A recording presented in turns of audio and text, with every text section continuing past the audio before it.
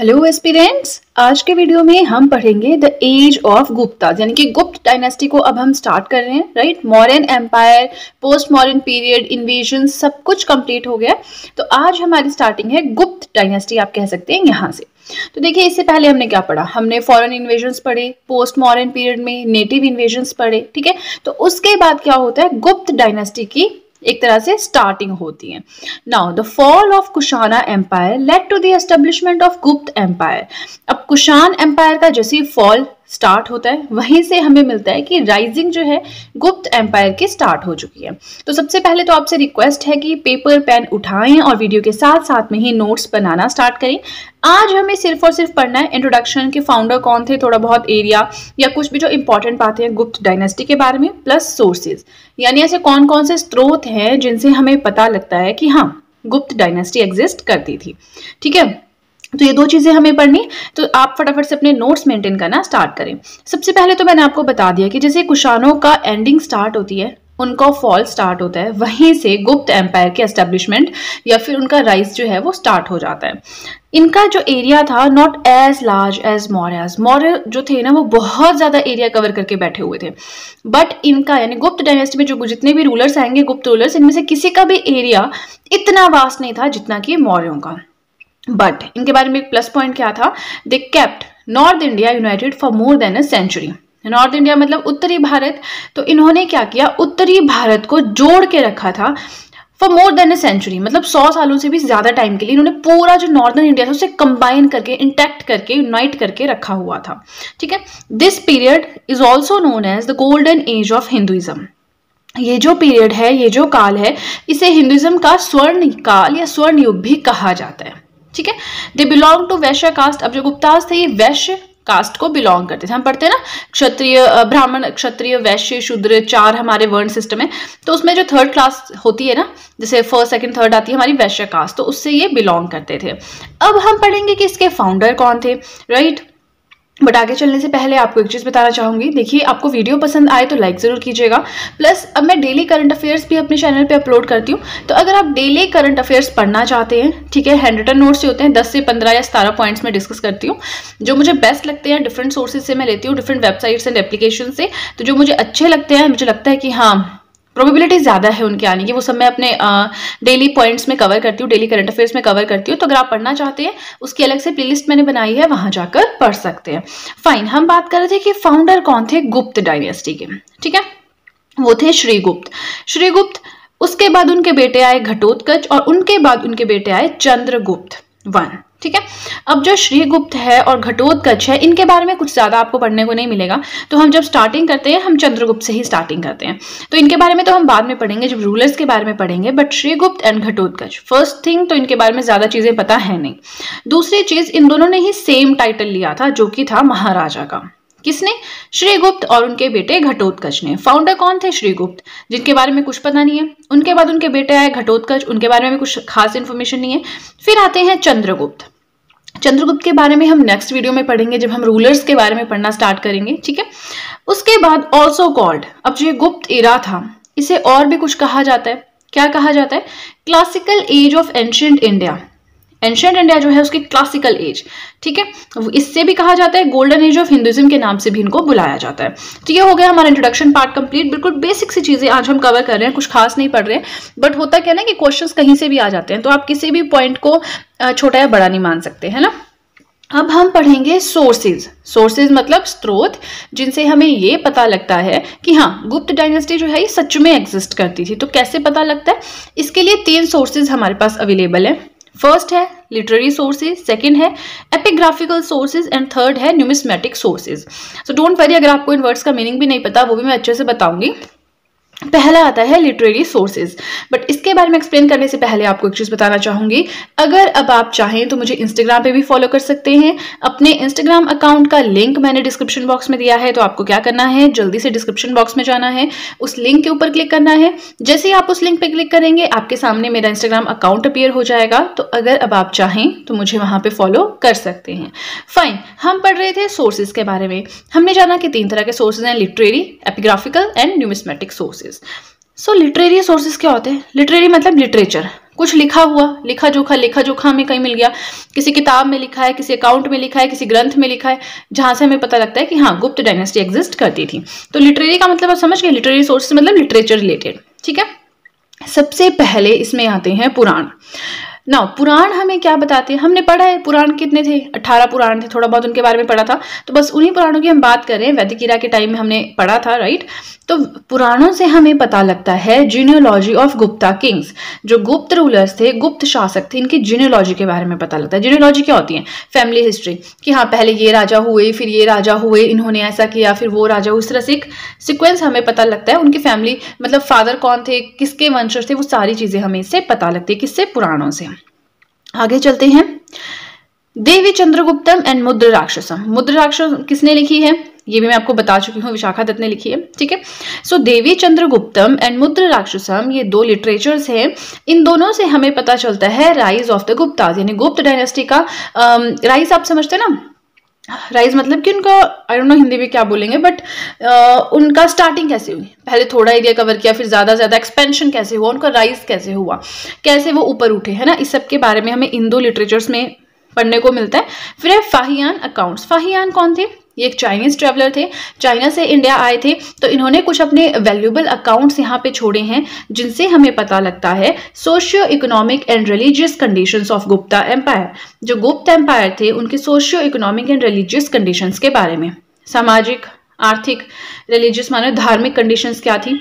ठीक है, उन सब के बारे में गुप्त एम्पायर की हमें पता लगता है। सो लिटरेरी सोर्सेज में कहीं भी देखिए क्वेश्चन आ गया तो अगर आपको मान लीजिए मेंस की तैयारी कर रहे हैं, किसी और ने अगर ये पॉइंट्स नहीं पढ़े होंगे तो आपके लिए काफ़ी बेनिफिशियल होंगे। आप अलग से इसे पॉइंट आउट कर सकते हैं कि तीन तरह के सोर्सेज थे। लिटरेरी थे एपिग्राफिकल थे न्यूमिस्मेटिक थे। लिटरेरी सोर्सेज में हम पुराणों का, Devi Chandragupta Mudra Rakshasa, Mudra Rakshasam and Fahien accounts का ज़िक्र कर सकते हैं। फाइन अब हम पढ़ेंगे एपिग्राफिकल सोर्सेज के बारे में। एपिग्राफिकल सोर्सेज तो पढ़ेंगे बट पहले एपिग्राफी क्या होती है, ये भी तो पता होना चाहिए, है ना? सो so, एपिग्राफी होती है स्टडी ऑफ़ इंस्क्रिप्शंस और राइटिंग्स इंस्क्रिप्शंस आप समझते हैं? किसी भी हार्ड सरफेस पे कुछ खुदाई करते हैं कुछ लिखते हैं ठीक है? उसे हम बोलते हैं इंस्क्रिप्शंस राइटिंग्स मतलब कहीं से आपको कुछ इंस्क्रिप्शन कुछ जैसे रॉक है कोई चट्टान उसके ऊपर कुछ लिखा हुआ मिला है ठीक है? वो सब क्या आती है एपिग्राफी कहलाती है और इस तरह के सोर्सेज क्या होते हैं? एपिग्राफिकल सोर्सेज कहलाते हैं. अब इसके कुछ एग्जाम्पल्स हम पढ़ेंगे. जैसे कि है Mehrauli iron pillar inscription and Allahabad pillar inscription तो मेहरौली आयरन पिलर इंस्क्रिप्शन क्या बताती है? Achievements of Chandragupta Maurya. Sorry यहाँ पे चंद्रगुप्त मौर्य नहीं आएगा। यहाँ पे आएगा चंद्रगुप्त वन। ठीक है? सो so, मेहरौली अब देखिए ये भी एक कंफ्यूजन रहता है। चंद्रगुप्त मौर्य मौर्यन डायनेस्टी के फाउंडर थे। यहाँ पे चंद्रगुप्त वन आते हैं तो इन दोनों में बड़ा कंफ्यूजन रहता है। बट कोई बात नहीं आप जैसे एक दो तीन बार आप एंशंट हिस्ट्री पढ़ लेंगे ना तो आपके दिमाग में बैठ जाएगा कि चंद्रगुप्त मौर्य अलग थे चंद्रगुप्त वन अलग थे ठीक है? सो मेहरौली अभी एक्चुअली हुआ क्या है कि हमने मौर्यन डायनेस्टी पढ़ के कंप्लीट किया ना तो शायद मैंने जल्दी जल्दी में वहीं से लिख दिया होगा। बट यहाँ पे आपने चंद्रगुप्त वन लिखना है। ठीक है? So Mehrauli iron pillar inscription क्या बताती है? चंद्रगुप्त वन की जो भी अचीवमेंट्स थी, उनकी आप कह लीजिए उपलब्धियाँ थी, उस सबके बारे में हमें यहाँ से पता लगता है। इससे हमें क्या पता लगता है कि हाँ चंद्रगुप्त वन सच में एग्जिस्ट करते थे मतलब गुप्त डायनेस्टी सच में थी राइट सेकेंड है हमारा epigraphical source Allahabad pillar inscription इससे हमें क्या पता चलता है? रियान ऑफ़ समुद्रगुप्त समुद्रगुप्त के रियान आप समझते ना, शासन के बारे में पता चलता है। हिज पर्सनैलिटी एंड अचीवमेंट्स ये भी हमें इस इंस्क्रिप्शन से मिलती है कि उनकी पर्सनैलिटी कैसी थी, उनकी उपलब्धियाँ क्या क्या थी। Right now Allahabad pillar inscription जो है, ये अशोकन पिलर पे एनग्रेव्ड है। अशोका के हम पिलर्स पढ़ते हैं पिलर एडिक्ट सेवन थे तो उनमें से एक में जो है, ये लिखा हुआ है। ठीक है? रिटर्न इन क्लासिकल संस्कृत जो क्लासिकल संस्कृत भाषा है, उसमें लिखी हुई है यूजिंग नगरी स्क्रिप्ट स्क्रिप्ट भी बता दिए नगरी स्क्रिप्ट यूज़ करके। ठीक है? It consist of thirty three lines compose by Harisena Harisena ने जो है, तैतीस लाइनें इसमें, देखिए, लिखी थी तो उन तैतीस लाइन्स को यहाँ पे इन्होंने कवर किया है। ठीक है? तो अब इसी के साथ एपिग्राफिकल सोर्सेज हो गए कंप्लीट कहीं पे क्वेश्चन आया तो आप बहुत अच्छे से यहाँ तो मैंने देखिए शॉर्ट में लिखा होता है। आप अपने वर्ड्स में इसे एक्सप्लेन कीजिए कि एपिग्राफी क्या होती है। थोड़ा और एक्सप्लेन कीजिए। यहाँ पे हमें दो एग्जाम्पल्स मिलते हैं। मेहरौली आयरन पिलर इंस्क्रिप्शन मिलता है अलाहाबाद पिलर इंस्क्रिप्शन मिलता है, जो कि एनग्रेव्ड अशोकन पिलर पे। इन दोनों को आप बहुत अच्छे से एक्सप्लेन कर सकते हैं। इतने अच्छे मैंने शॉर्टकट में आपको पॉइंट्स बता दिया आप इनको इलेबोरेट करके लिखिए। है ना? आपका आंसर बहुत अच्छा हो जाएगा। राइट अब हमारा थर्ड एंड लास्ट बचता है न्यूमिस्मेटिक सोर्सेज इसके लिए भी जानना ज़रूरी है कि न्यूमिस्मेटिक होता क्या है। बट आगे चलने से पहले आपको एक चीज़ बताना चाहूँगी। अगर अब आप चाहें तो मेरे हैंड रिटन नोट्स को परचेज भी कर सकते हैं। उसके लिए आपको क्या करना है? डिस्क्रिप्शन बॉक्स में लिंक दिया है। उस लिंक पे जाके क्लिक करना है। जैसे ही आप उस लिंक पर क्लिक करेंगे, आप डायरेक्टली मेरे कॉन्टैक्ट में आ जाएँगे। प्लस जो भी आपके डाउट्स हैं क्वेश्चन हैं क्वेरीज हैं, आप मुझसे पूछ सकते हैं। एंड बिलीव में बहुत ही ज़्यादा अफोर्डेबल रेट पर आपको नोट्स मिल जाएँगे। तो ऐसा कोई इशू नहीं है। ठीक है? वैसे मैं आपको ये सजेस्ट करूँगी कि आप अपने नोट्स अपने आप बनाएँ। बट इन केस आप कॉलेज में है जॉब कर रहे हैं, कोई कोर्स कर रहे हैं नोट्स बनाने का टाइम नहीं है, उस केस में it would be better if you purchase my hand written notes plus साथ में देखिए मेरी यूट्यूब वीडियोज़ आपका पूरा का पूरा कंसेप्ट क्लियर हो जाएगा। और आपको यूट्यूब वीडियोज़ भी मिल रही हैं, उन्हीं वीडियोज़ के नोट्स भी मिल रहे हैं। तो आपका काम जो है बहुत अच्छे से चल जाएगा। ठीक है? फाइन हम थोड़ा भटक गए टॉपिक से। हम बात कर रहे थे न्यूमिस्मेटिक सोर्सेज के बारे में। न्यूमिस्मेटिक क्या होता है? स्टडी ऑफ़ कॉइन्स जब कॉइन्स की स्टडी करते हैं, हम देखते हैं कि हमें प्राचीन काल के कौन कौन से कॉइन्स मिले हैं। क्या उसमें से किसी में पता चलता है कि हाँ गुप्त जो रूलर थे, उनमें से किसी के कुछ होता है ना कॉइन्स पे? कोई वीणा बजाते हुए दिखाई देता है। कोई अपनी पत्नी के नाम पे कॉइन्स इशू करता है। जैसे कि चंद्रगुप्त फ़र्स्ट थे, उन्होंने अपनी वाइफ के नाम पे जो है गोल्ड कॉइन्स इशू किए थे दिनारस बोलते थे उनको, है ना? वो हम नेक्स्ट में पढ़ेंगे नेक्स्ट वीडियो में। बट फ़िलहाल न्यूमिस्मेटिक सोर्सेज क्या हो गए? न्यूमिस्मेटिक क्या हो गया? स्टडी ऑफ़ कॉइन्स तो कॉइन्स की स्टडी करते हैं। हमें कुछ कॉइन्स ऐसे मिलते हैं जिनमें टाइटल्स होते हैं, राजाओं के, महाराजाओं के, कि इसने बलि दी है सेक्रीफाइस दिया है, कुछ कॉन्ट्रीब्यूशन दिया है सोसाइटी को। तो ऐसा कुछ लिखा हुआ मिलता है। तो उससे हमें आइडिया लगता है कि हाँ ये वाली डायनेस्टी एग्जिस्ट करती थी। ठीक है? तो देखिए, आज का हमारा टॉपिक हो गया कंप्लीट काफ़ी शॉर्ट वीडियो था, ऐसे बहुत लंबी वीडियो नहीं थी। हमने कंटेंट भी बहुत कम कंप्लीट किया है बट मैंने आपको, मैं चाहती हूँ कि मैं आपको अच्छे से एक्सप्लेन कर सकूँ, आप अपना लेक्चर अच्छे से डिलीवर कर सकूँ कि कोई भी वर्ड ऐसा ना हो कि आपको उसका मीनिंग ना पता हो या आपको कुछ समझ ना आए। तो I am trying my best बाकी आप बताइए कि वीडियो आपको कैसी लगी, आपको लेक्चर कैसा लगा, जो भी मैंने आपको समझाया, समझ में आया या समझ में नहीं आया। मोटे मोटे पॉइंट्स है कि नॉर्थ इंडिया को इन्होंने यूनाइटेड रखा था for more than a century golden age of Hinduism बोलते हैं, वैश्य कास्ट से बिलोंग करते थे। श्रीगत घटोत्कच दोनों ने टाइटल लिया था महाराजा फाउंडर थे श्रीगुप्त। चंद्रगुप्त के बारे में हम नेक्स्ट वीडियो में पढ़ेंगे। Classical age of ancient India बोलते हैं। सोर्सेज आपने तीन बिल्कुल रट लेने हैं। Literary epigraphical and numismatic sources इनके बारे में मैंने आपको काफ़ी अच्छे से एक्सप्लेन कर दिया। आज के वीडियो में हम पढ़ेंगे द गुप्त एम्पायर के बारे में। तो देखिए गुप्त डायनेस्टी जो है, इसके बारे में पढ़ना हमने प्रीवियस वीडियो से ही स्टार्ट कर दिया था। वहाँ पे हमने इंट्रोडक्शन पढ़ा कि जो गुप्त डायनेस्टी है या जो गुप्त इरा है, इसे गोल्डन एज ऑफ़ हिंदुज़म कहा जाता है classical age of ancient history कहा जाता है। और भी बहुत कुछ पढ़ा कि फाउंडर कौन थे? श्रीगुप्त थे, उनके बेटे आए घटोत्कच, फिर उनके बेटे आए चंद्रगुप्त वन। तो आज हम स्टार्ट करेंगे चंद्रगुप्त वन के साथ। एक और चीज़ हमने प्रीवियस वीडियो में पढ़ी थी जो कि इंपॉर्टेंट थी, वो थी सोर्स जिसमें हमने पढ़े थे literary sources epigraphical sources and numismatic sources right तो ये एक बहुत छोटा सा वीडियो था प्रीवियस वाला जिसमें हमने काफ़ी इंपॉर्टेंट चीज़ें पढ़ी थी बट आज हम स्टार्ट करेंगे रूलर्स की एक्सप्लेनेशन से। तो देखिए बहुत सारे रूलर्स हम इसमें पढ़ते हैं अप्रॉक्सीमेटली पाँच चार पाँच रूलर्स के बारे में पढ़ते हैं बट आज हम सिर्फ़ दो रूलर्स को कवर करेंगे जिसमें फ़र्स्ट आते हैं चंद्रगुप्त वन एंड सेकेंड आप यहाँ पे स्क्रीन पे देख सकते हैं समुद्रगुप्त। तो दो रूलर्स को हम आज कवर करेंगे। सो so, पहली चीज़ तो आप प्रीवियस वीडियो देख के यहाँ पे आए। आपके थोड़ी स्ट्रॉन्ग बैकग्राउंड आपका हो जाएगा। आपको समझ आ जाएगा कि हमें पढ़ना क्या है, ठीक है? हमने मगध पढ़ा, फिर हमने मॉरन काल पढ़ा मॉरन इरा पढ़ा मॉरन डायनेस्टी पढ़ी, फिर हमने पोस्ट मॉरन पीरियड पढ़ा, जिसमें हमने फॉरेन इन्वेजन और नेटिव इन्वेजन पढ़े और आज हम स्टार्ट करेंगे गुप्त डायनेस्टी के रूलर्स की एक्सप्लेनेशन के साथ। तो आपसे रिक्वेस्ट है जल्दी से पेपर पेन उठाएँ और वीडियो के साथ साथ में ही अपने नोट्स मेंटेन करना स्टार्ट कर दें। चलिए, चंद्रगुप्त फ़र्स्ट के बारे में हम पढ़ेंगे। ठीक है, अब एक चीज़ आपको याद आ रही होगी, हमने चंद्रगुप्त मौर्य भी पढ़ा था, हम चंद्रगुप्त फ़र्स्ट भी पढ़ रहे हैं। तो Chandragupta Maurya means he belong to Mauryan dynasty and Chandragupta one he है अगर मतलब he belong to Gupta dynasty ठीक है तो चंद्रगुप्त वन के बारे में पढ़ना हम अब स्टार्ट करें तो जल्दी से पेपर पेन उठाएँ और वीडियो के साथ साथ में अपने नोट्स बनाना स्टार्ट कर दें। फ़र्स्ट पॉइंट है first to be called Maharaja Dhiraj the great king of kings पहले ऐसे गुप्त शासक थे जिन्होंने महाराजा धीराज का टाइटल लिया।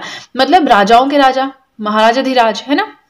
सेकेंड पॉइंट है he greatly raise the power and prestige of his dynasty by matrimonial alliances इन्होंने क्या किया? अपने डायनेस्टी को बहुत ज़्यादा पावरफुल बनाया प्रेस्टिजियस बनाया, बहुत स्ट्रॉन्ग किया। कैसे? मैट्रीमोनियल अलायंसेज के द्वारा। अब इसका मतलब क्या होता है? कि जिसके भी साथ आपको लग रहा है ना कि हाँ मेरी बनती नहीं है, पंगा होने वाला है, वहाँ से मतलब वहाँ, जो प्रिंसेस होती है, वहाँ की उनसे शादी कर लो तो आपके और उनके संबंध जो है, वो अच्छे हो जाते हैं, रिश्ते अच्छे हो जाते हैं, वो आप पे कभी अटैक नहीं करते और मतलब एक तरह से पीस जो है मेंटेन हो जाता है, ठीक है? तो वैसा ही इन्होंने किया मेट्रोमोनियल अलायंसेस बनाए। एक जो सबसे इंपॉर्टेंट है he married the Lichchhavi princess Kumara Devi लिच्छियों की जो राजकुमारी थी कुमारा देवी उनसे चंद्रगुप्त फ़र्स्ट ने शादी की थी। And then he issue Chandragupta Kumara Devi type gold coins इस तरह के गोल्ड क्वाइंस इन्होंने इशू किए थे, जिन्हें कहते थे दिनारस या दिनार्स। तो आपको ये याद रखना है, ठीक है? ये क्वेश्चन एक तो बनता है। महाराजा धीराज का टाइटल किसने लिया? दूसरा ये बनता है। थर्ड पॉइंट आता है Mehrauli pillar inscription mention his extensive conquest जो भी इन्होंने विजय प्राप्त की, जो भी इनकी मिलिट्री कॉन्क्वेस्ट थी, उन सबका ज़िक्र हमें मेहरौली पिलर इंस्क्रिप्शन में मिलता है। ठीक है? Then he started a new era called Gupta era अब इन्होंने एक नया इरा स्टार्ट किया। हमने पढ़ा ना शक इरा विक्रम संवत, हमने वो सब चीज़ें पढ़ी। तो वैसे ही चंद्रगुप्त फ़र्स्ट ने न्यू इरा स्टार्ट किया, जिसे कहते हैं गुप्त इरा कब से स्टार्ट होता है? Twenty six of February three twenty AD तीन सौ बीस एडी आपने मेनली याद रखना है। डेट भी याद रखनी है अगर रख सकते हैं। अदरवाइज़ तीन सौ बीस एडी तो याद रखना ही रखना है। इस टाइम से स्टार्ट किया इन्होंने Gupta era which is the coronation date of Chandragupta first मतलब जब इनका राज्यभिषेक हुआ था, है ना? जिस टाइम पे प्रॉपर राजा बने थे, वो डेट रही है ये। तो इस टाइम से क्या है? गुप्त इरा स्टार्ट होता है। आई होप आपको येलो वाला पियर हो रहा होगा ये। He was the first king to adopt the title of Maharaja Dhiraj ये चीज़ मैंने पहले भी डिस्कस कर दी कि वो पहले ऐसे गुप्त शासक थे जिन्होंने ये टाइटल लिया था महाराजा धीराज का। Right now let me adjust the page उसके बाद हम आगे का पढ़ते हैं। Fine he established his authority over Magadh Saket and Prayag in areas पे उन्होंने अपनी अथॉरिटी मतलब इन एरियाज़ को अपने अंडर किया था। ठीक है? अब देखिए, आगे चलने से पहले आपको एक चीज़ बताना चाहूँगी। अगर अब आप चाहें तो मुझे इंस्टाग्राम पे भी फॉलो कर सकते हैं। अपने इंस्टाग्राम अकाउंट का लिंक मैंने डिस्क्रिप्शन बॉक्स में दिया है तो जल्दी से डिस्क्रिप्शन बॉक्स में जाएँ, उस लिंक के ऊपर क्लिक करें। जैसे ही आप उस लिंक पर क्लिक करेंगे, आपके सामने मेरा इंस्टाग्राम अकाउंट अपियर हो जाएगा और फिर आप मुझे वहाँ पर चाहें तो फॉलो कर सकते हैं। प्लस वीडियो पसंद आए तो लाइक ज़रूर कीजिएगा। लाइक करने में बिल्कुल भी कंजूसी बिल्कुल मत कीजिएगा। फाइन फ़र्स्ट रूलर हो गए हमारे कंप्लीट जिसमें हमने पढ़ा चंद्रगुप्त फ़र्स्ट के बारे में इंपॉर्टेंट पॉइंट्स है। Maharaja Dhiraj matrimonial alliances Mehrauli pillar inscription Gupta era ये चार पाँच पॉइंट्स हैं, बस यही, यहीं से क्वेश्चन आता है। अब हमें सेकंड रूलर्स जो है, समुद्रगुप्त, उनके बारे में पढ़ना है। So he was considered as the greatest of the rulers of Gupta dynasty जो ये गुप्त डायनेस्टी थी, इसमें सबसे ज़्यादा पावरफुल सबसे ज़्यादा ग्रेट रूलर माने जाते हैं समुद्रगुप्त, ठीक है? Now the Allahabad pillar inscription अब देखिए, चीज़ क्या है ना कि समुद्रगुप्त के बारे में बहुत सारे पॉइंट्स बहुत सारे फैक्चुअल डेटा जैसे कि इन्हें इंडियन नेपोलियन कहा जाता था, और भी बहुत कुछ इन्हें वीणा बजाते हुए कॉइन्स के ऊपर दिखाया गया। इस तरह से बहुत सारे पॉइंट्स हैं तो बहुत सारे क्वेश्चन बनते हैं समुद्रगुप्त के अंडर। मैंने कोशिश की है कि ज़्यादा से ज़्यादा मैं यहाँ पे कवर कर पाऊँ। ठीक है, अगर आपको लगता है कि कोई चीज़ छूट रही है तो आप थोड़ी बहुत जगह छोड़ दें, साइड से यहाँ मैंने जगह छोड़ी, यहाँ जगह छोड़ी तो नेक्स्ट इन फ्यूचर मुझे कोई भी अपडेशन मिलती है तो मैं यहाँ पर लिख सकती हूँ तो ऐसा ही आप भी कर सकते हैं। फाइन हम पढ़ रहे थे द अलाहाबाद पिलर इंस्क्रिप्शन के बारे में, प्रयाग प्रशस्ति में है, ठीक है? तो इसके बारे में फ़ेमस बात क्या है? याद रखना है अलाहाबाद पिलर इंस्क्रिप्शन समुद्रगुप्त से रिलेटेड है और मेहरौली पिलर इंस्क्रिप्शन ऊपर दिखेगा मेहरौली पिलर इंस्क्रिप्शन किससे रिलेटेड है? सॉरी चंद्रगुप्त फ़र्स्ट से रिलेटेड है जिसे हम मेन तरह से फ़र्स्ट एक्सप्लेनेशन पढ़ते हैं जब रूलर्स की उसमें आता है। So so, Samudragupta the Allahabad pillar inscription enumerated by his court Harisena जो इनके कोर्ट पोइट थे सॉरी कोर्ट पोइट थे दरबारी जो थे कवि दरबारी कहते होंगे हिंदी में तो हरि सेना उन्होंने ये बनवाई थी, लिखवाई थी। It informs about the people and countries that were conquered by Samudragupta Samudragupta ने कौन कौन से एरियाज़ को कौन कौन से देशों को कौन कौन से लोगों को अपने अंडर किया था, उस सारी की सारी इंफॉर्मेशन हमें अलाहाबाद पिल्लर इंस्क्रिप्शन में मिल जाती है। अब एक और पॉइंट है इससे related it mentions his title Dharma Prachar Bandhu Allahabad pillar inscription में समुद्रगुप्त को कहा गया है धर्म प्रचार बंधु मतलब जो अपने धर्म का प्रचार करते हैं। ठीक है? नेक्स्ट आता है it refers to three stages in his military campaign जिन्होंने मिलिट्री अभियान किए थे कैंपियन किए थे उसमें तीन स्टेजेस के बारे में मेंशन किया गया है अलाहाबाद पिलर इंस्क्रिप्शन में समुद्रगुप्त के ठीक है? पहली है अगेंस्ट नॉर्दर्न इंडिया मैंने शॉर्ट में लिखा है आपने समझा ना उत्तरी भारत नॉर्दर्न इंडिया तो पहली से पह, पहली बात यह कि वो नॉर्दर्न इंडिया गए वहाँ पे शासकों को जीता जो वहाँ के रूलर्स थे. फिर सेकेंड है दक्षिण पथा एक्सपीडिशन वो दक्षिण की तरफ़ गए वहाँ के जो शासक थे उनको जीता. फिर थर्ड स्टेज आती है second campaign against northern India मतलब नॉर्दर्न इंडिया में जो कुछ शासक रह गए थे, दूसरी बार वहाँ पे गए अभियान लेकर और उनको भी जीता। अब टेंशन मतलब आपको समझ नहीं आया तो नेक्स्ट पेज पे मैं इन्हें स्टेज बाय स्टेज एक्सप्लेन करूँगी। दो तीन पॉइंट्स बनते हैं यहाँ से पढ़ने वाले तो उनको हम डिस्कस करेंगे, ऐसे टेंशन की कोई बात नहीं है। आप बस साथ साथ में नोट्स बनाते चले अपना लिखते चलें जहाँ समझ नहीं आ रहा है थोड़ा पेशेंस रखें वीडियो को थोड़ा बैक करके सुन लें या फिर मैंने देखिए आगे फिर से एक्सप्लेन किया ये चीज़ तो आपको आगे बहुत अच्छे से एक्सप्लेनेशन इसकी मिल जाएगी। आप टेंशन ना लें बस पेशेंस बना के रखें पढ़ते रहें कहीं कुछ समझ नहीं आता वीडियो दो बार देख लें फिर भी समझ नहीं आता थोड़ी सी बुक्स रेफर करें ऐसा इतना टफ काम नहीं है बस एक ही हाँ फैक्चुअल डेटा है तो याद रखने में थोड़ी सी दिक्कत हो जाती है बाकी समझने में ऐसा ऐसा कुछ नहीं है ये आर्ट्स बहुत ईजी सब्जेक्ट है बट ये है कि वास्ट बहुत है बहुत सब कुछ होता है इसमें पढ़ने को so so, he was a Vaishnavite मतलब जो वैष्णव कि वो पूजा करते थे, ठीक है? चलिए, ये तो हो गया। अब सबसे इंपॉर्टेंट पॉइंट हमारा रह गया तो ज़रा इसे हम देख लें। बट आगे चलने से पहले एक बार फिर से आपसे कहूँगी कि वीडियो पसंद आए तो लाइक ज़रूर कीजिएगा। कंटेंट अच्छा लगे तो लाइक ज़रूर कीजिएगा। लाइक करने में बिल्कुल भी कंजूसी मत कीजिएगा। नाउ इन्हें इंडियन नेपोलियन भी कहा जाता था by V A Smith V A Smith ने समुद्रगुप्त को कहा है इंडियन नेपोलियन क्यों? For his bravery and military conquest बहुत ज़्यादा ब्रेव थे, बहुत अच्छी मतलब इन्होंने जीत हासिल की थी। बहुत सारा एरिया अपने अंडर किया था तो उस रिलेशनशिप उस रिलेशन में, उस रिगार्डिंग जो है, इन्हें इंडियन नेपोलियन कहा जाता था बाय वी ए स्मिथ आपको याद रखना है। ठीक है? सो इसी के साथ हमारा फ़र्स्ट पेज हो गया कंप्लीट आई होप मैं आपको जो समझाती हूँ, आपको समझ में आता है। पहली चीज़ तो आप मुझे कमेंट सेक्शन में बताएँ कि आपको नोट्स कैसे लग रहे हैं। आप इसी तरह से पढ़ना चाहते हैं या फिर चाहते हैं कि मैं कोई और मेथड अपनाऊँ जिसके थ्रू आपको पढ़ाऊँ? ठीक है? तो चलिए फ़र्स्ट पेज तो हो गया कंप्लीट आई होप आप नोट्स बना रहे हैं, क्योंकि नोट्स नहीं बना रहे हैं, ऐसे ही पढ़ रहे हैं तो वो आपके लिए बेनिफिशियल प्रूफ नहीं होगा। ठीक है? तो मैं नोट्स लेकर इसीलिए आती हूँ कि आप थोड़ा सा आइडिया ले लें कि हाँ नोट्स बनाने कैसे हैं। तो चलिए, ज़्यादा बातें ना करते हुए अब चलते हैं नेक्स्ट पेज की तरफ़। देखिए, हम समुद्रगुप्त के बारे में पढ़ रहे हैं। मैंने आपको बताया कि तीन स्टेजेस हैं, उनकी जो काफ़ी ज़्यादा फ़ेमस रही हैं तो बस उन्हीं के बारे में पढ़ना है। पहली स्टेज है stage number one north sorry north India expedition यानी कि वो उत्तरी भारत में अभियान लेकर गए तो वहाँ पे एक दो पॉइंट्स बनते हैं यहाँ पे पढ़ने वाले, वो पढ़ने हैं।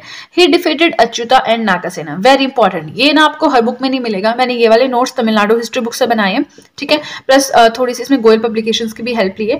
तो आपने बस इतना ध्यान रखना है कि पहली स्टेज जो है नॉर्थ इंडिया एक्सपीडिशन उत्तरी भारत की तरफ़ जो अभियान लेकर गए, वहाँ पे अच्युता एंड नागा सेना को हराया। अच्युता कौन थे? He was probably a Naga ruler एक नागा रूलर थे, शायद, पक्का नहीं पता है। एंड देखिए क्वेश्चन आते हैं कि मैम आप कहाँ से आपका सोर्स क्या है? तो देखिए मैंने तमिलनाडु हिस्ट्री बुक से बनाया वो बेस्ट मानी जाती है यूपीएससी के लिए। तो आई डोंट थिंक आप उस पर क्वेश्चन कर सकते हो कि गलत है, सही है। ठीक है तो उसके थ्रू मैंने बनाया है। ना अच्युता जो है he was probably a Naga ruler एक नागा रूलर थे, शायद। It was not fix not confirmed ठीक है नागा सेना कौन थे?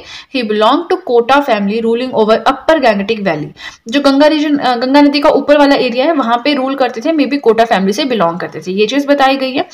हेंस इन दोनों को हरा दिया।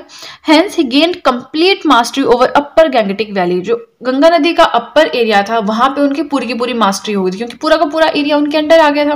तो पहले स्टेज में उन्होंने अच्युता एंड नागासेना को हराया और अपर गंगा वैली को पूरा का पूरा अपने अंडर कर लिया। अब अगर आपको नहीं पता गंगा वैली कहाँ है, आपको इंडियन जोग्राफी का नहीं पता तो देखिए तो फिर रटने वाली बात हो गई। मैप अपने सामने रखिए इंडिया का। मैप पे देखिए कहाँ से निकलती है, कहाँ को जाती है, कौन सी सी में जाती है, सब कुछ देखिए, है ना? तो चलिए फ़र्स्ट पॉइंट हो गया कंप्लीट एंड सेकंड स्टेज आती है हमारी दक्षिण पथा एक्सपीडिशन अब वो साउथ की तरफ़ जाएँगे, फिर से मैप वाली बात आ गई। अगर आप मैप के थ्रू पढ़ ही नहीं रहे हैं तो ये सब रटने वाली बात है आप भूल जाएँगे। मैप के थ्रू देखिए, जितनी बार पढ़ते हैं, उतनी बार मैप देखिए। हमेशा कहती हूँ स्टडी टेबल के ऊपर एक साइड वर्ड मैप एक साइड इंडिया का मैप लगाइए, चाहे छोटे छोटे मैप से लगाइए, ताकि आइडिया तो हो जाए आपको। और नहीं लगा सकते, कोई प्रॉपर स्टडी स्पेस नहीं है आपके पास तो फिर एटलीस्ट अपने पास रखिए, ठीक है? अब दक्षिण की तरफ़ वो जाएँगे, दक्षिण की तरफ़ अभियान लेकर जाएँगे तो देखिए, दक्षिण पथा में कितना कुछ है पढ़ने के लिए, सब कुछ बहुत इंपॉर्टेंट है। अब एक चीज़ ध्यान रखने वाली कि नॉर्थ साइड गए तो उन्होंने एरियाज़ को अपने अंडर किया, राजाओं को हराया और एरिया को अपने अंडर किया। स्टेज टू में क्या होता है? Now, Allahabad pillar inscription mentions that Samudragupta defeated 12 rulers in the South India expedition. जब सॉरी दक्षिणी भारत की तरफ़ गए समुद्रगुप्त तो वहाँ पर उन्होंने 12 शासकों को हराया। ये किसमें लिखा है? अलाहाबाद पिलर इंस्क्रिप्शन में। तो ये क्वेश्चन बनता है आपका पहला। दूसरा है his policy in southern India was different दक्षिणी भारत में उनकी पॉलिसी काफ़ी डिफरेंट थी। ही डिडेंट डिस्ट्रॉय और एनेक्स दोज किंगडम्स वहाँ पर उन्होंने सबको हराया लेकिन किसी को भी अपने अंडर नहीं किया। यहाँ पे क्या था? अच्युता नागासेन का एरिया उन्होंने अपने अंडर किया। लेकिन दक्षिणी भारत में उन्होंने किसी का भी एरिया जो है अपने अंडर नहीं किया, ना वहाँ पे तबाही मचाई ठीक है सिर्फ़ युद्ध लड़ा और उनको हराया He defeated rulers but gave but gave them back their kingdoms. उसने वहाँ पे दक्षिणी भारत में शासकों को हराया और उनको उनका किंगडम जो है वैसे ही वापस कर दिया था He only insisted them to acknowledge their suzerainty. मतलब आप मेरे अंडर हो आप मेरा जो शासकता है इसको एक्सेप्ट uh, करो कि आप मेरे अंडर हो। बस इतना उन्होंने कहा और कुछ नहीं। His arms reached as far as Kanchi Tamil Nadu south में कांची तमिलनाडु तक जो है उनके जो uh, सेना थी वो पहुँच गई थी जीते जीते and here Pallavas were compelled to accept his suzerainty उनके अंडर उनकी शासकता को एक्सेप्ट करना जो है पल्लव को जो है कंपेल किया गया कि हाँ वो उन्हें मतलब माने अपना शासक मेन रूलर ठीक है? नाउ सबसे ज़्यादा इंपॉर्टेंट ये सब तो आपने स्टोरी थी तो आप इसे भूलेंगे नहीं। आपने पढ़ लिया, आप समझ गए, आप भूलेंगे नहीं कि उत्तरी भारत में गए तो राजाओं को अपने अधीन कर लिया दक्षिणी भारत में गए तो सिर्फ़ उनसे मनवाया कि हाँ आप मेरे अंडर बाकी उनको अपने अंडर नहीं किया। लेकिन यहाँ पे मेन क्वेश्चन ये बनता है who was the commander in chief during his south Indian expedition ये क्वेश्चन आ चुका है बहुत बार, वीर सेना। ठीक है? अब जो अलाहाबाद पिलर डिस्क्रिप्शन हम पढ़े ना, हम पिछले पेज में हमने पढ़ा तो वहाँ पे उनके कोर्ट पोइट थे हरिसेन। यहाँ पे आ गए commander in chief Veer Singh याद रखना है, दो क्वेश्चंस बनते हैं और बहुत गलत होते हैं। ठीक है? Now stage number three second north Indian expedition अब फिर से गई उत्तरी भारत की तरफ़। अब यहाँ पे इन्होंने क्या किया? To eliminate his remaining north Indian rivals जो उत्तरी भारत में कुछ और उनके रह गए थे ना, दुश्मन, है ना, उनको जो भी उनके कॉम्पिटिटर थे, उनको हराया। Here fought against nine kings यहाँ पे नौ शासकों को जाकर हराया। तो देखिए कितनी मिलिट्री कॉन्क्वेस्ट उन्होंने की। अब यहाँ पे मैंने ये साइन लगाया, इसका मतलब कॉन्क्वेस्ट हो गई कंप्लीट अब हमारा चलता है बाकी का कंटेंट ठीक है? सो देखिए, आगे चलने से पहले आपको एक चीज़ बताना चाहूँगी। अगर अब आप चाहें तो मेरे हैंड रिटर्न नोट्स को परचेज भी कर सकते हैं। उसके लिए आपको क्या करना है? डिस्क्रिप्शन बॉक्स में लिंक दिया है। उस लिंक के ऊपर जाकर क्लिक करना है। जैसे ही आप उस लिंक पे क्लिक करेंगे आप डायरेक्टली मेरे कॉन्टैक्ट में आ जाएँगे प्लस जो भी आपके डाउट्स हैं क्वेश्चन हैं क्वेरीज हैं, आप मुझसे पूछ सकते हैं। एंड बिलीव में बहुत ही ज़्यादा अफोर्डेबल रेट पे आपको नोट्स मिल रहे हैं तो ऐसा कोई इशू नहीं है। देखिए, जो मैं आपको यूट्यूब पे पढ़ाती हूँ, जिन नोट्स के थ्रू उन्हीं की पीडीएफ बना के मैं आपको सेंड करूँगी। प्लस कोई भी आपको डाउट रहता है, कहीं पर कोई चीज़ समझ नहीं आ रही तो आप उस टॉपिक की वीडियो देख सकते हैं, आपका डाउट भी क्लियर हो जाएगा। तो एक तरह से आपको पूरा का पूरा कोर्स मिल रहा है, जो हज़ारों में बिकता है, वो कोर्स आपको बहुत ही ज़्यादा अफोर्डेबल रेट पर मिल रहा है। यूट्यूब वीडियोज़ में मिल रही है, और वो उसकी पीडीएफ भी मिल रही है। तो इनकेस आप बिज़ी है कॉलेज में है जॉब कर रहे हैं, कोई कोर्स कर रहे हैं टाइम नहीं है नोट्स बनाने का, उस केस में आप इस मेथड को फॉलो कर सकते हैं। अदरवाइज़ मैं यही कहूँगी कि अपने नोट्स अपने आप बनाएँ, क्योंकि अपने नोट्स से जो पढ़ने का मज़ा है ना, वो कहीं नहीं है, ठीक है? चलिए, अब थोड़ा सा बचा कुचा पढ़ते हैं समुद्रगुप्त के बारे में, यहाँ से भी बहुत सारे क्वेश्चंस बनते हैं। So after this military conquest he performed Ashwamedh sacrifice जब उन्होंने सारे मिलिट्री कॉन्क्वेस्ट हो गया ना उनका काम, उसके बाद उन्होंने अश्वमेध सेक्रीफाइस किया। ठीक है? He had authority over Java Sumatra कहाँ पे आई इंडोनेशिया में है मलाया आइलैंड्स ये सारे, है ना? कहाँ कहाँ पे? आपने देखो अपने मैप्स में देखो गूगल करो, है ना? ये थोड़ा बहुत आपको करना पड़ेगा। अब स्पून फीडिंग पूरी पूरी तो नहीं होगी, है ना? तो उनकी अथॉरिटी थी इन सब आइलैंड्स पे। इससे क्या प्रूव होता है कि आइलैंड्स पे उनका कब्जा था? मतलब he had a strong navy navy उनके पास काफ़ी स्ट्रॉन्ग थी, ठीक है? He is set to have compose poems of high merit बहुत ही अच्छी अच्छी पोइम्स वो लिखते थे right he had coins which represent him playing veena ये क्वेश्चन आता है यहाँ से कि कौन से गुप्त शासक थे जिनको क्वाइंस पे वीना बजाते हुए दिखाया गया है? वीना वाजक कहा गया है तो आपको याद रखना है कौन थे? समुद्रगुप्त थे, ठीक है? अब देखिए, वीडियो पसंद आए तो लाइक ज़रूर कीजिएगा। लाइक करने में कोई भी कंजूसी बिल्कुल मत कीजिएगा। नेक्स्ट पॉइंट आता है अकॉर्डिंग टू चाइनीज़ सोर्सेज अब कुछ चाइनीज़ सोर्सेज भी हैं, ठीक है? उनके हिसाब से हमें क्या पता लगता है कि एक रूलर थे श्रीलंका के, जिनका नाम था मेघ वर्मन उन्होंने क्या किया था? He sent a missionary to Samudragupta for a permission to build a Buddhist temple at Gaya Chinese sources बताते हैं कि श्रीलंका के एक शासक थे, मेघ वर्मन। उन्होंने क्या किया? उन्हें परमिशन चाहिए थी कि हमें गया, जो कि बिहार में है, वहाँ पे एक बुद्धिस्ट टेंपल बनाना है ठीक है? तो उसके लिए परमिशन चाहिए थी समुद्रगुप्त से तो उन्होंने वहाँ से अपने दूत भेजे थे, ठीक है? तो ये क्वेश्चन भी आता है कि किसके टाइम में जो है मेघ वर्मन ने अपने मिशनरीज भेजे थे, जो समुद्रगुप्त के टाइम में भेजे थे, ठीक है? नाउ लास्ट पॉइंट आता है बट इसको डिस्कस करने से पहले एक और इंपॉर्टेंट चीज़ है जो मैं आपको बताना चाहूँगी। देखिए, मैं डेली करंट अफेयर्स अपलोड करती हूँ अपने चैनल पे। तो अगर देखिए, आप हिस्ट्री पॉलिटी जोग्राफी इकोनॉमिक्स पढ़ रहे हैं मतलब आप गवर्नमेंट एग्जामिनेशन के लिए प्रिपेयर कर रहे हैं तो उसके लिए करंट अफेयर्स भी उतने ही ज़्यादा ज़रूरी हैं इंपॉर्टेंट हैं सिग्निफिकेंट हैं। तो देखिए, मैं डिफरेंट सोर्सेज से जो दस से पंद्रह या कई बार सोलह, सतारह इतने पॉइंट्स बनाती हूँ और उनके वीडियो रिकॉर्ड करके अपलोड करती हूँ। तो देखिए, वो सारे पॉइंट्स आपके लिए काफ़ी ज़्यादा इंपॉर्टेंट हो सकते हैं। तो अगर अगर आप प्रिपरेशन कर रहे हैं, आप वहाँ से भी देख सकते हैं, पंद्रह मिनट से ज़्यादा मेरी वीडियो नहीं होता है, दस, पंद्रह, अठारह इतने मिनट की वीडियो होगी। तो अगर बारह मिनट की भी वीडियो है, चौबीस, पच्चीस मिनट में आपके करंट अफेयर्स खुद के नोट्स बन के तैयार हो जाएँगे और बिलीव में बहुत ज़्यादा बेनिफिशियल होंगे वो आपके लिए राइट तो आप करंट अफेयर्स भी देख सकते हैं मेरे, है ना? चलिए, बहुत हो गई बातें, अब आज का लास्ट पॉइंट पढ़ते हैं। According to his coins he was called as restorer of Ashvamedha तो ये भी क्वेश्चन बन सकता है। इसमें कुछ एक्सप्लेन करने वाली चीज़ नहीं है। क्वाइंस के हिसाब से उनको रिस्टोरर ऑफ़ अश्वमेधा कहते थे। अपने क्वाइंस पे वीना बजाते हुए उनको दिखाई, दिखाया गया है।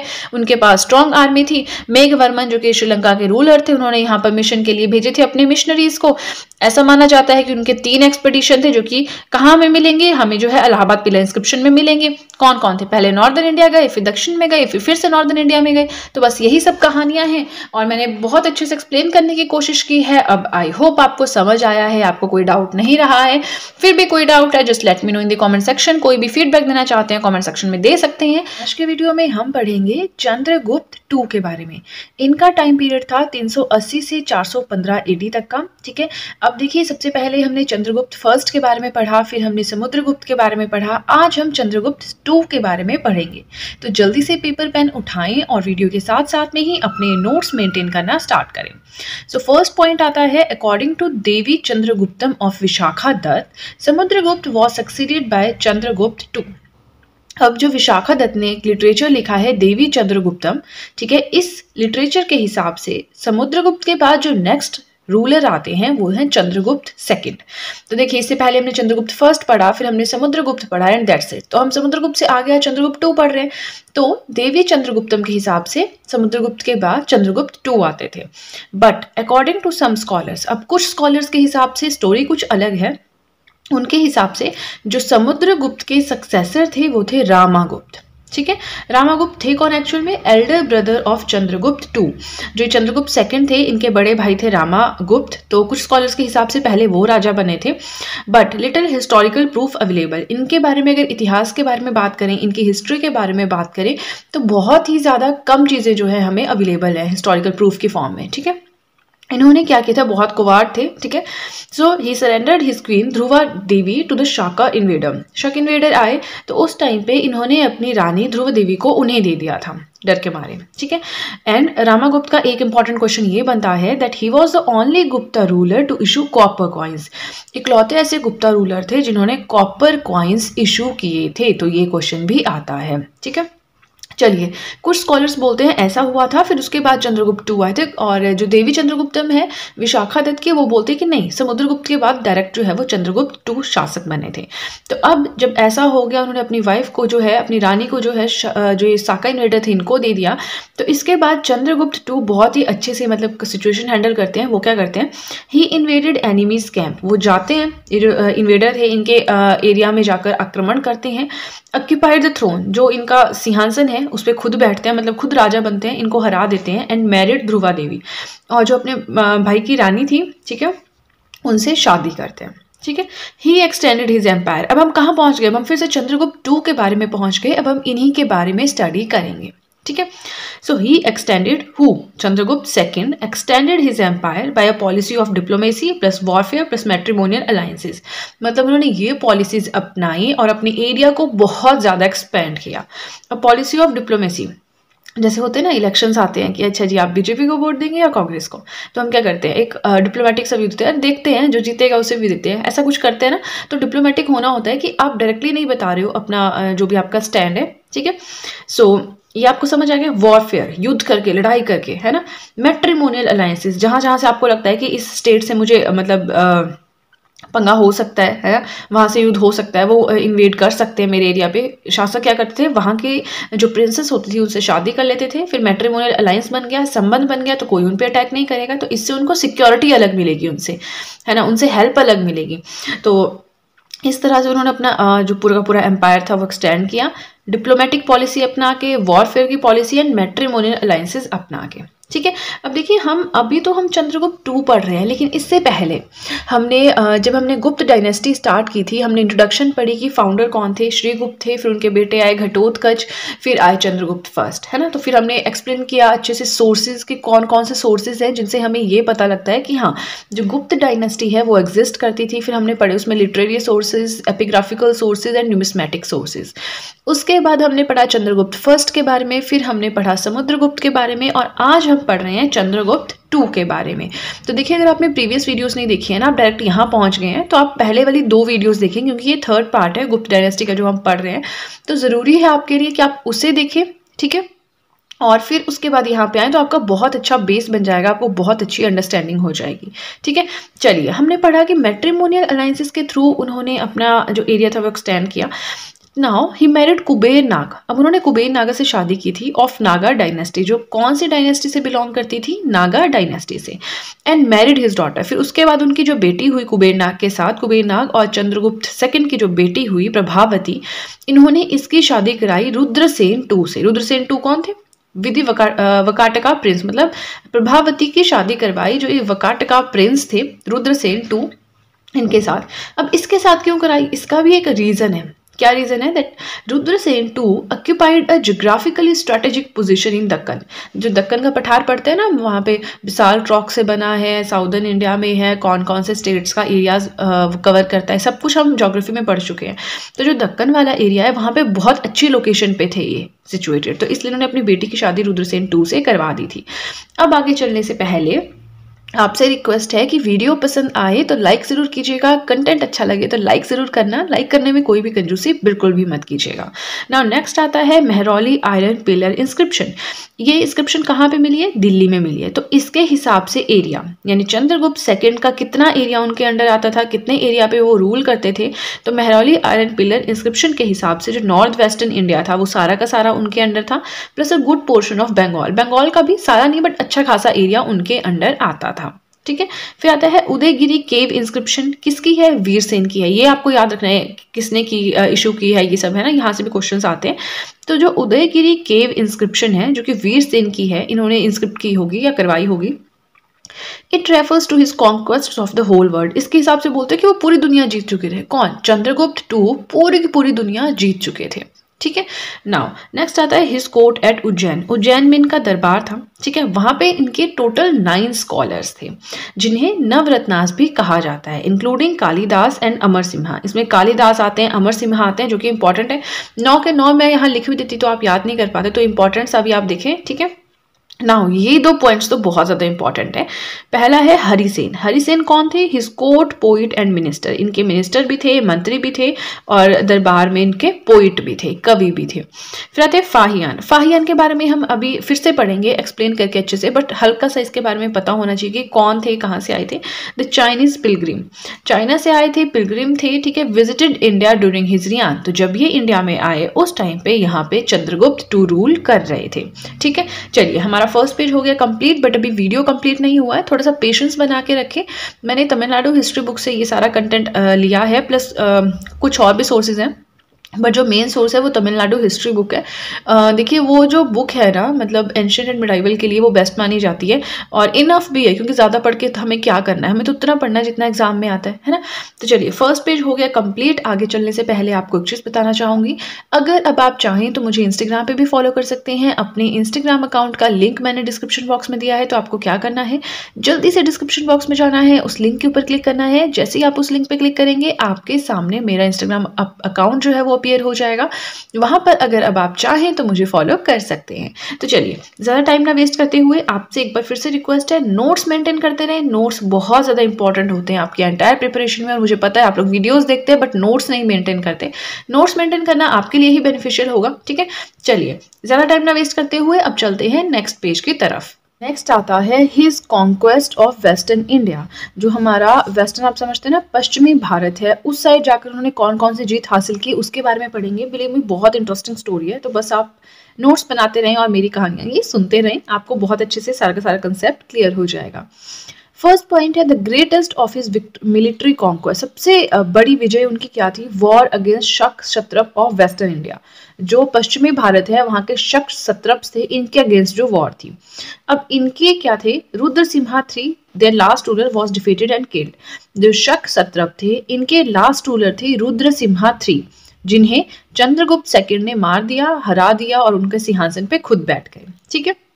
नाउ इसकी जो ये शक सत्रप थे रुद्रसिम्हा थ्री, इनकी हार के साथ क्या होता है? वेस्टर्न मालवा और काठियावाड़ रीजन ये गुप्त एम्पायर में शामिल हो जाता है। ठीक है? देन आफ्टर हिज विक्ट्री अब जब चंद्रगुप्त सेकेंड जीत गए तो उन्होंने हॉर्स सेक्रीफाइस किया था एक। ठीक है? घोड़े को बलि दी होगी, और उसके बाद टाइटल लिया सकारी का। सकारी का मतलब है डिस्ट्रॉय डिस्ट्रॉयर ऑफ़ शाकाज इनको हराने वाला सकारी। साका को हराने वाला सकारी ऐसे ऐसे टाइटल्स वो लोग उस टाइम लेते थे। He also called himself Vikramaditya तो आप कुछ बुक्स में देखेंगे ना तो वहाँ पे लिखा है विक्रमादित्य चंद्रगुप्त टू या चंद्रगुप्त टू विक्रमादित्य उन्होंने ये टाइटल लिया था। ठीक है? हेंस वेस्टर्न बाउंड्री अब इससे क्या हुआ? उनकी वेस्टर्न बाउंड्री बहुत ज़्यादा बढ़ गई। जब उन्होंने वहाँ के मेन रूलर को ही हरा दिया तो उनकी जो वेस्टर्न बाउंड्री थी, वो बहुत ज़्यादा बढ़ गई। Up to the Arabian sea अब यहाँ पे मैं आपको थोड़ा सा मैप के थ्रू पढ़ाती हूँ कि मुझे नहीं लगता आप लोग मैप्स देखते हैं साथ साथ में। ये हमारा इंडिया है, थोड़ा सा रफ मैप मैंने बनाया तो ऐसा मत बोलना मैं मैं कैसा बनाया। बस ये इंडिया है, ठीक है? ये हमारा अरेबियन सी है, ये बे ऑफ़ बंगाल है, ये इंडियन ओशन है। तो यहाँ पे जो गुजरात आता है ना, यहाँ तक उनकी बाउंड्री बढ़ गई थी, ठीक है? तो पूरे अरेबियन सी तक उनकी बाउंड्री हो गई थी। जितने गुजरात के पोर्ट्स थे उनके अंडर आ गए, ठीक है? So he controlled trade with western countries अब फिर से हम मैप की तरफ़ चलते हैं। अब वेस्टर्न कंट्रीज़ कौन सी हैं? ये सारी, ठीक है? तो अब इन्होंने क्या किया? इन सब कंट्रीज़ के साथ व्यापार करना स्टार्ट किया। इधर इन गुजरात के जो पोर्ट्स थे, इनके थ्रू यहाँ से ट्रेड होना स्टार्ट हुआ, ठीक है? Now so he control trade with western countries Ujjain became important commercial city Ujjain जो है एक इंपॉर्टेंट कमर्शियल सिटी बन गया। कमर्शियल समझते हैं, जहाँ से व्यापार होना स्टार्ट होता है ना? आप कह सकते हैं बिज़नेस पॉइंट ऑफ़ व्यू से काफ़ी इंपॉर्टेंट प्लेस हो गया था। नाउ वेस्ट वेस्ट जो वेस्टर्न पार्ट था वर्ल्ड का, वहाँ पे इंडियन प्रोडक्ट्स की वैल्यू बहुत ज़्यादा थी। जैसे कि बंगाल का फाइन कॉटन है, बिहार का इंडिगो इंडिगो समझते हैं, नील है, बनारस का सिल्क है साउथ के स्पाइसेस और सैंडल है तो इन सब की बहुत ज़्यादा वैल्यू थी, ठीक है? लेट मी करेक्ट इट ये स्पाइसीज होगा। ठीक है? चलिए। फिर उसके बाद क्या होता है कि अब ये जो सारा इंडिया का सामान है, बाहर भेजना है, ठीक है? Now it bought to western port western countries gold मैंने काफ़ी शॉर्ट में लिखा है। तो होता क्या है? मैं आपको यहाँ मैप पे बताती हूँ कि अब मैंने आपको जैसे बताया ना कि बंगाल का कॉटन बिहार का इंडिगो बनारस का सिल्क ये सारी चीज़ें, इन सब की बहुत ज़्यादा वैल्यू थी इन सारी कंट्रीज़ में। तो यहाँ से उसका व्यापार होने लगा। अब वो लोग बदले में पैसा तो देंगे तो वो पैसा नहीं, वो क्या देते थे? गोल्ड गोल्ड देते थे। इसी वजह से जो गुप्त डायनेस्टी के रूलर्स थे, इनके पास सोना बहुत बहुत ज़्यादा था। आप देखेंगे सबने गोल्ड के कॉइन्स छपवाए हैं, करवाए हैं इशू है ना? So Chandragupta two issued a variety of variety of gold coins in India इन्होंने बहुत सारी तरह के अलग अलग वैरायटी के गोल्ड कॉइन्स जो है वो इंडिया में इशू करवाए थे। ठीक है? तो चलिए, इसी के साथ हमारा सेकंड पेज भी हो गया कंप्लीट अभी आगे और भी है, थोड़ा सा बहुत इंपॉर्टेंट है। फाहियान का विज़िट है तो वो भी पढ़ना पड़ेगा। तो देखिए आपको वीडियो पसंद आए तो लाइक ज़रूर कीजिएगा। आप लाइक करने में बहुत ज़्यादा कंजूसी करते हैं तो वो कंजूसी मत कीजिएगा। ठीक है, इसी के साथ एक पॉइंट और है जो मैं आपके साथ डिस्कस करना चाहूँगी। देखिए, मैं डेली करंट अफेयर्स भी अपने चैनल पे अपलोड करती हूँ। ठीक है, दस से पंद्रह पॉइंट्स समटाइम्स सतारह, अठारह पॉइंट्स डिस्कस करती हूँ। तो मैं एक दो वेबसाइट्स है मेरे पास और एक दो एप्लीकेशन है। तो वो वेबसाइट्स मैंने फिक्स रखी हैं। वहीं से कुछ पॉइंट्स लेती हूँ जो मुझे अच्छे लगते हैं। कुछ मैंने एप्लीकेशन इंस्टॉल किए हैं वहाँ से। तो जो भी बेस्ट न्यूज़ होती है, वो मैं अपने नोट्स में इनकॉर्पोरेट करती हूँ। तो अगर आप, देखिए, सरकारी नौकरी की तैयारी कर रहे हैं तो आपको डेली करंट अफेयर्स तो पढ़ने पड़ेंगे। मैगजीन से तो कुछ नहीं चलने वाला आपका काम। बेशक मैगजीन पे पढ़िए, छोड़िए मत, पर आपको डेली भी तो करंट अफेयर्स पे फोकस करना पड़ेगा ना। न्यूज़पेपर में तो वो सारी चीज़ें नहीं आती हैं। तो उसके लिए आपको कुछ अलग से नोट्स बनाने पड़ेंगे तो उस केस में आप मेरे नोट्स देख सकते हैं, वहाँ से काफ़ी ज़्यादा हेल्प आपको हो जाएगी। तो चलिए, ज़्यादा टाइम ना वेस्ट करते हुए अब चलते हैं नेक्स्ट पेज की तरफ़। नेक्स्ट हमें पढ़ना है Fahien's visit I know video थोड़ा लंबा हो गया बट देखिए इतना कुछ है इनके बारे में पढ़ने के लिए, हम स्किप तो नहीं कर सकते। क्या फ़ायदा कि हमने पूरा टॉपिक पढ़ लिया और उसमें से कोई क्वेश्चन आया, हम कर नहीं पाए, है ना? तो हमें सारे एस्पेक्ट्स कवर करने पड़ेंगे, बाकी फिर भगवान भरोसे है ना? चलिए फाहियांस विज़िट पढ़ते हैं। तो मैंने आपको पहले ही बताया चाइनीज़ पिलग्रिम थे, जिस टाइम वो इंडिया आए थे, यहाँ पे चंद्रगुप्त टू रूल कर रहे थे। तो ड्यूरिंग चंद्रगुप्त टूज रियान इनके शासन के टाइम पे ये आए थे, ये हमने पढ़ लिया। इंडिया में वो टोटल नौ साल रहे थे, जिसमें से छः साल वो गुप्त एम्पायर में रहे थे और वहाँ पे कौन रूल कर रहा था उस टाइम पे? Chandragupta two now main purpose अब ये आए हैं चाइना से तो इनका कुछ उद्देश्य होगा एम होगा कि क्यों आए थे? To see the land of Buddha and to collect Buddhist manuscript from India अब देखिए, इंडिया को जो है लैंड ऑफ़ बुद्धा कहा जाता था। बुद्धिज़्म जो है, ये धर्म जो है, इसका ओरिजिन जो है इंडिया में है। हम बुद्धिज़्म के बारे में पढ़ चुके हैं जैनिज्म के बारे में पढ़ चुके हैं तो आई डोंट थिंक आपको कोई डाउट होगा, है ना? नाउ तो जो लैंड ऑफ़ बुद्धा थी, इसे देखने आए थे और बुद्धिस्ट मैन्यूस्क्रिप्ट को यहाँ से ले जाने आए थे। मैन्यूस्क्रिप्ट क्या होते हैं? Something which is written by hand ठीक है? नाउ अकाउंट्स अब इन्होंने बहुत सारे वैल्यूबल अकाउंट्स अपने पीछे छोड़ गए यहाँ पे जिनसे हमें इन्फॉर्मेशन मिलती है on religious social and economic condition of Gupta empire जो गुप्त एम्पायर थे जितने भी शासक थे या जो भी इन्होंने देखा अपने आसपास धर्म के बारे में, सामाजिक कैसा इशू है कंडीशन है, आर्थिक रूप पे क्या कंडीशन है, इस सब के अकाउंट्स ही साथ में छोड़ के गए हैं। अब इनके हिसाब से यहाँ मैंने इंडिया का मैप बनाया। प्लीज़ ऐसा मत बोलना, मैम, ऐसा है, वैसा है, मैंने रफ सा बना दिया है। मतलब बेसिक अंडरस्टैंडिंग के लिए आप लोगों की। तो इनके हिसाब से जो ये नॉर्थ वेस्टर्न इंडिया था ना, ये मैंने बनाया यहाँ पे north western India it was a in flourishing condition मतलब बुद्धिज्म की फ्लोरिशिंग कंडीशन में था। यहाँ पे बुद्धिज्म पनप रहा था। लेकिन जो ये गैंगेटिक वैली थी इनको इसको उन्होंने कहा लैंड ऑफ़ ब्राह्मणिज्म मतलब यहाँ पे ब्राह्मण या पंडित या हिंदू वाला ज़्यादा धर्म चलता था। गैंगेटिक वैली आप समझते ना, गंगा नदी के तट पे, Uttarakhand UK sorry UK UP Bihar west Bengal then bay of Bengal ये सब पढ़ चुके हैं हम, है ना? बांग्लादेश से भी बहती है। तो इनके गंगा नदी के आसपास का जो भी एरिया है, वो सारा गैंगेटिक वैली में आता है। बहुत ज़्यादा फर्टाइल लैंड है। सो इसे लैंड ऑफ़ ब्राह्मणिज्म कहा गया।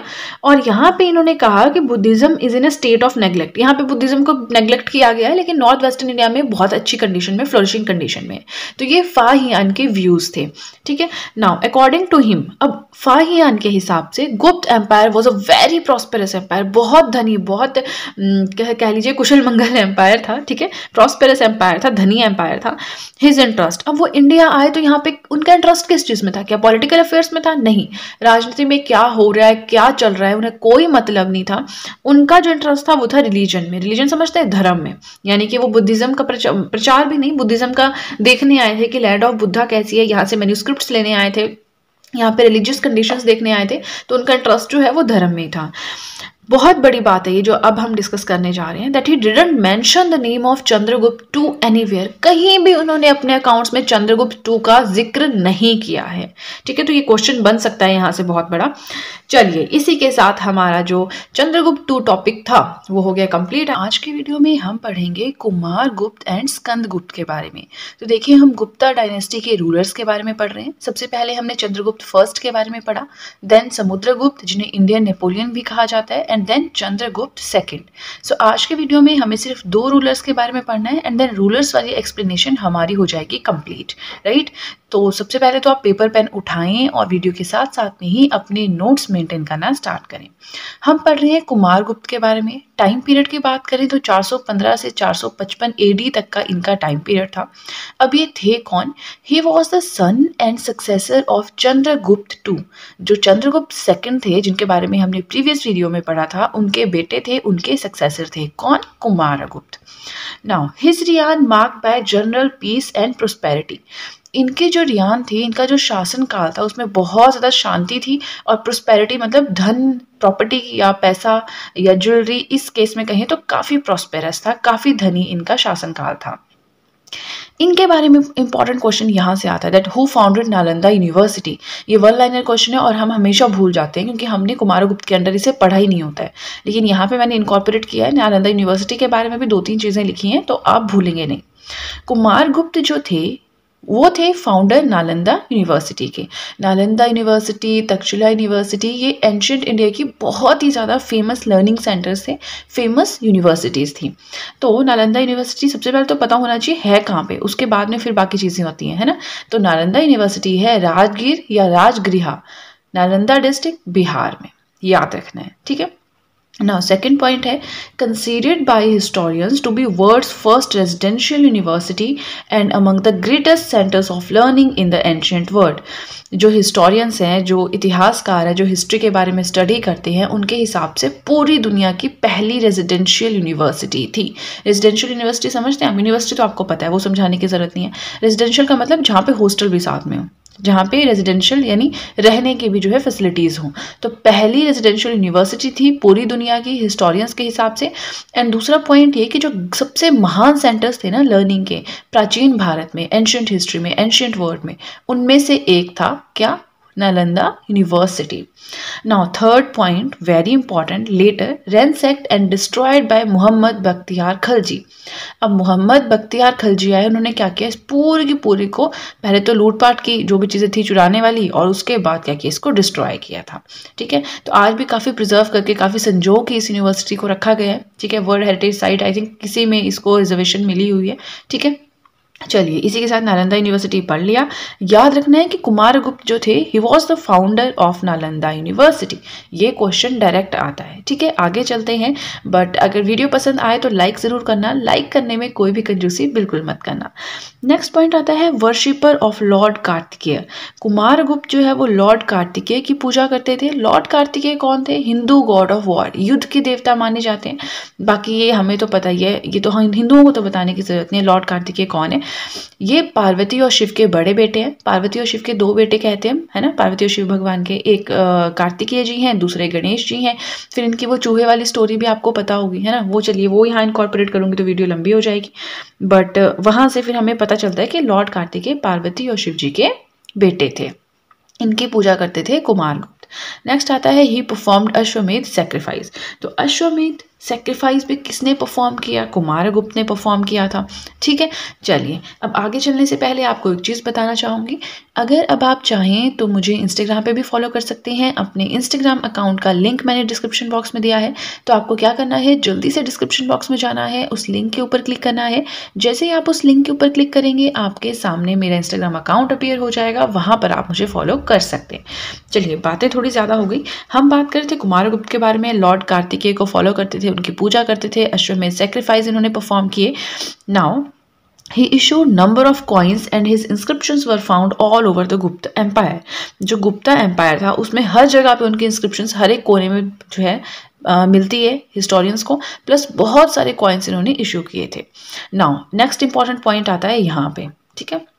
In the last year of his reign invasions जब इनके शासन के कुछ लास्ट के साल चल रहे थे उस टाइम पे आक्रमण होने स्टार्ट हो गए। किसके आक्रमण? तुर्को मंगोल ट्राइब के इनके आक्रमण होने स्टार्ट हो गए थे, हूणों के। कहाँ से आए थे? सेंट्रल एशिया से आए थे नोमैडिक पीपल थे सेंट्रल एशिया की जो प्लेन एरियाज़ है, वहाँ पे घूमते थे तो वहाँ से इनके आक्रमण होने स्टार्ट हो गए। And during the war with Hunas Kumaragupta died फिर इन्होंने यहाँ पे आक्रमण किया तो कुमारगुप्त ने इनसे युद्ध लड़ा, जिसमें इनकी डेथ हो गई थी। उसके बाद इनके सक्सेसर इनके बेटे जो हैं, वो शासक बने थे, वो हम नेक्स्ट पेज पे पढ़ेंगे। तो आपसे एक बार फिर से रिक्वेस्ट है कि देखिए वीडियो के साथ साथ में नोट्स बनाते रहें।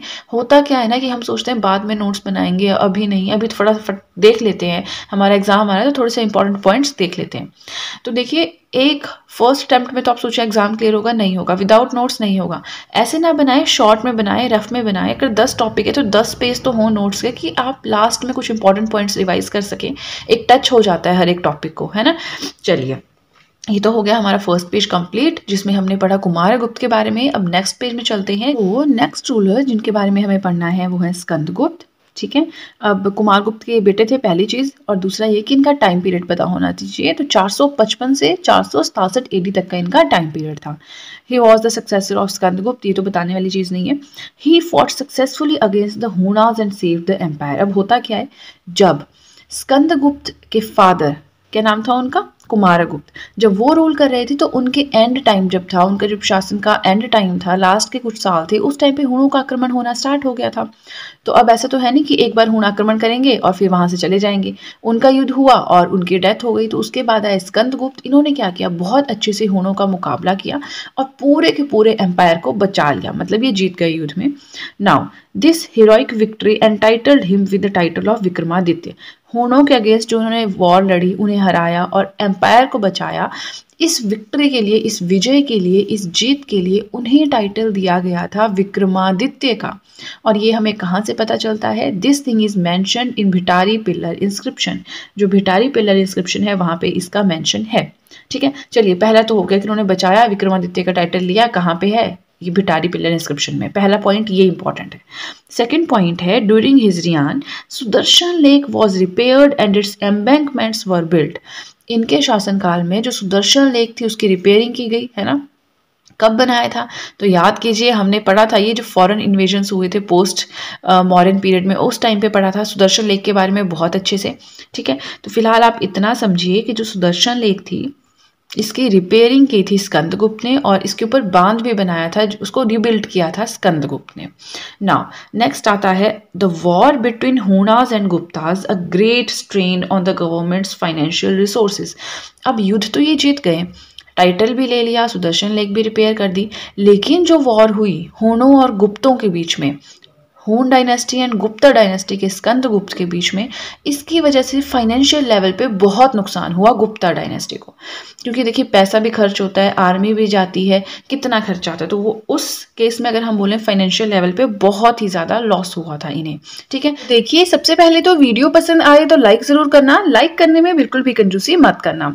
सो ये चीज़ हमने पढ़ी कि हूणों और गुप्तों के बीच में जब युद्ध हुआ तो उससे फाइनेंशियल लॉसेज बहुत ज़्यादा हुए। नेक्स्ट पॉइंट आता है the continuous attacks of Hunas weaken the economy अब हून क्या करते थे? एक के बाद एक अटैक करते रहते थे। तो जो स्कंद गुप्त थे, उन्होंने दो बार इनको जो है हराया भी। लेकिन होता क्या है कि जब युद्ध होता है तो इकोनॉमी वीक बहुत ज़्यादा हो जाती है। तो वही हुआ गुप्ता इकोनॉमी के साथ कि वो वीक बहुत ज़्यादा हो चुकी थी स्कंद गुप्त के टाइम तक। And the decline began soon after the death of Gupta ruler Skandagupta अब स्कंदगुप्त भी काफ़ी पावरफुल थे, काफ़ी स्ट्रांग थे। उन्होंने पूरा जो हमारा एम्पायर था, गुप्ता एम्पायर उसे जोड़ के रखा बट जैसे ही इनकी डेथ होती है सॉरी जैसे ही इनकी डेथ होती है, पूरा का पूरा एम्पायर जो है वो उसका ब्रेक डाउन वो टूटना, उसका डिक्लाइन होना स्टार्ट हो जाता है, ठीक है? He is considered as the last Gupta ruler of Gupta dynasty Gupta dynasty के सबसे सॉरी ग्रेट रूलर सबसे ज़्यादा महान या आप कह लीजिए लास्ट ग्रेट रूलर वो माने जाते थे। इनके बाद कुछ सक्सेसर्स आए, जैसे कि पुरुगुप्त है नारसिम्हा गुप्त है बुद्धा गुप्त है, ये सारे भी जो है गुप्ता रूलर्स ही है, लेकिन हम इनके बारे में पढ़ते नहीं है। क्यों? क्योंकि इनके बारे में कुछ है ही नहीं खास पढ़ने के लिए। दे ऑल वर वीक बहुत ज़्यादा वीक थे। Couldn't save the empire from the Hunas हुनों से ये अपने एम्पायर को बचा नहीं सके। ठीक है? दस गुप्ता पावर टोटली डिसअपियर्ड जो गुप्त शासक थे, इनकी पावर जो है, वो धीरे धीरे खत्म हो गई और उसके बाद बिल्कुल ही खत्म हो गई, ठीक है? चलिए, इसी के साथ हमने दो रूलर्स आज पढ़े, ठीक है? उन दोनों का जो कंटेंट था, वो हो गया कंप्लीट अब जो रूलर्स की एक्सप्लेनेशन होती है, वो भी इसी के साथ हो गई कंप्लीट तो आई होप आपको वीडियो अच्छी लगी हो। एक चीज़ आपको और बताना चाहूँगी, देखिए, मैं डेली करंट अफेयर्स भी अपने चैनल पे अपलोड करती हूँ तो अगर आप करंट अफेयर्स पढ़ना चाहते हैं डेली आप पढ़ सकते हैं। दस से पंद्रह पॉइंट्स में डिस्कस करती हूँ डेली एंड दूसरी चीज़ ये कि अगर अब आप चाहें तो मेरे हैंड रिटन नोट्स को परचेज भी कर सकते हैं।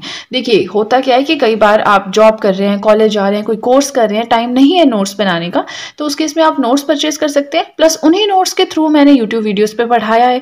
तो कहीं पर आपको अंडरस्टैंडिंग नहीं हो पा रही है, समझ नहीं आ रहा या कोई भी डाउट आप वीडियो देख सकते हैं तो वो भी आपका कंसेप्ट क्लियर हो जाएगा। इस तरह से ओवरऑल आपको एक कोर्स जो है वो मिल रहा है, ठीक है? तो काफ़ी ज़्यादा बेनिफिशियल रहेगा आपके लिए। एंड फ्रेंड्स आज के लिए इतना ही। के वीडियो में हम पढ़ेंगे गुप्ता एडमिनिस्ट्रेशन के बारे में। तो देखिए, हमने गुप्त डायनेस्टी से स्टार्ट किया था, फिर हमने सोर्सेज पढ़े literary sources numismatic sources and epigraphical sources means किन स्त्रोतों से हमें ये पता लगता है कि हाँ गुप्ता डायनेस्टी एग्जिस्ट करती थी, वो पढ़ा। फिर हमने मेन रूलर्स के बारे में पढ़ा, हर एक रूलर की एक्सप्लेनेशन पढ़ी कि हूण कौन से रूलर के टाइम पे आए, बहुत सारी चीज़ें पढ़ी। इंडियन नेपोलियन किसे कहते हैं, ये भी पढ़ा। आज हम स्टार्ट करेंगे एडमिनिस्ट्रेशन माने प्रशासन के साथ कि जब गुप्त शासक रूल कर रहे थे तो उस टाइम पे प्रशासन कैसा था। Right right? तो जल्दी से पेपर पेन उठाएँ और वीडियो के साथ में ही अपने नोट्स मेंटेन करना स्टार्ट करें। सो फ़र्स्ट पॉइंट आता है डिसेंट्रलाइज्ड हाईली मतलब हाईली डिसेंट्रलाइज था। आप डिसेंट्रलाइज्ड का मतलब समझते हैं कि हर एक चीज़ के लिए एक डिपार्टमेंट था। जो डिपार्टमेंट का हेड होता है, वही डिसीज़न लेगा। सेंट्रलाइज्ड जो इकोनॉमी होती है, उसका क्या मतलब होता है कि हर एक डिपार्टमेंट का हेड सिर्फ़ किंग है और किंग ही फाइनल डिसीज़न देगा। इसमें ऐसा नहीं था, हर एक डिपार्टमेंट का एक एक हेड था और वही डिसीज़न लेता था।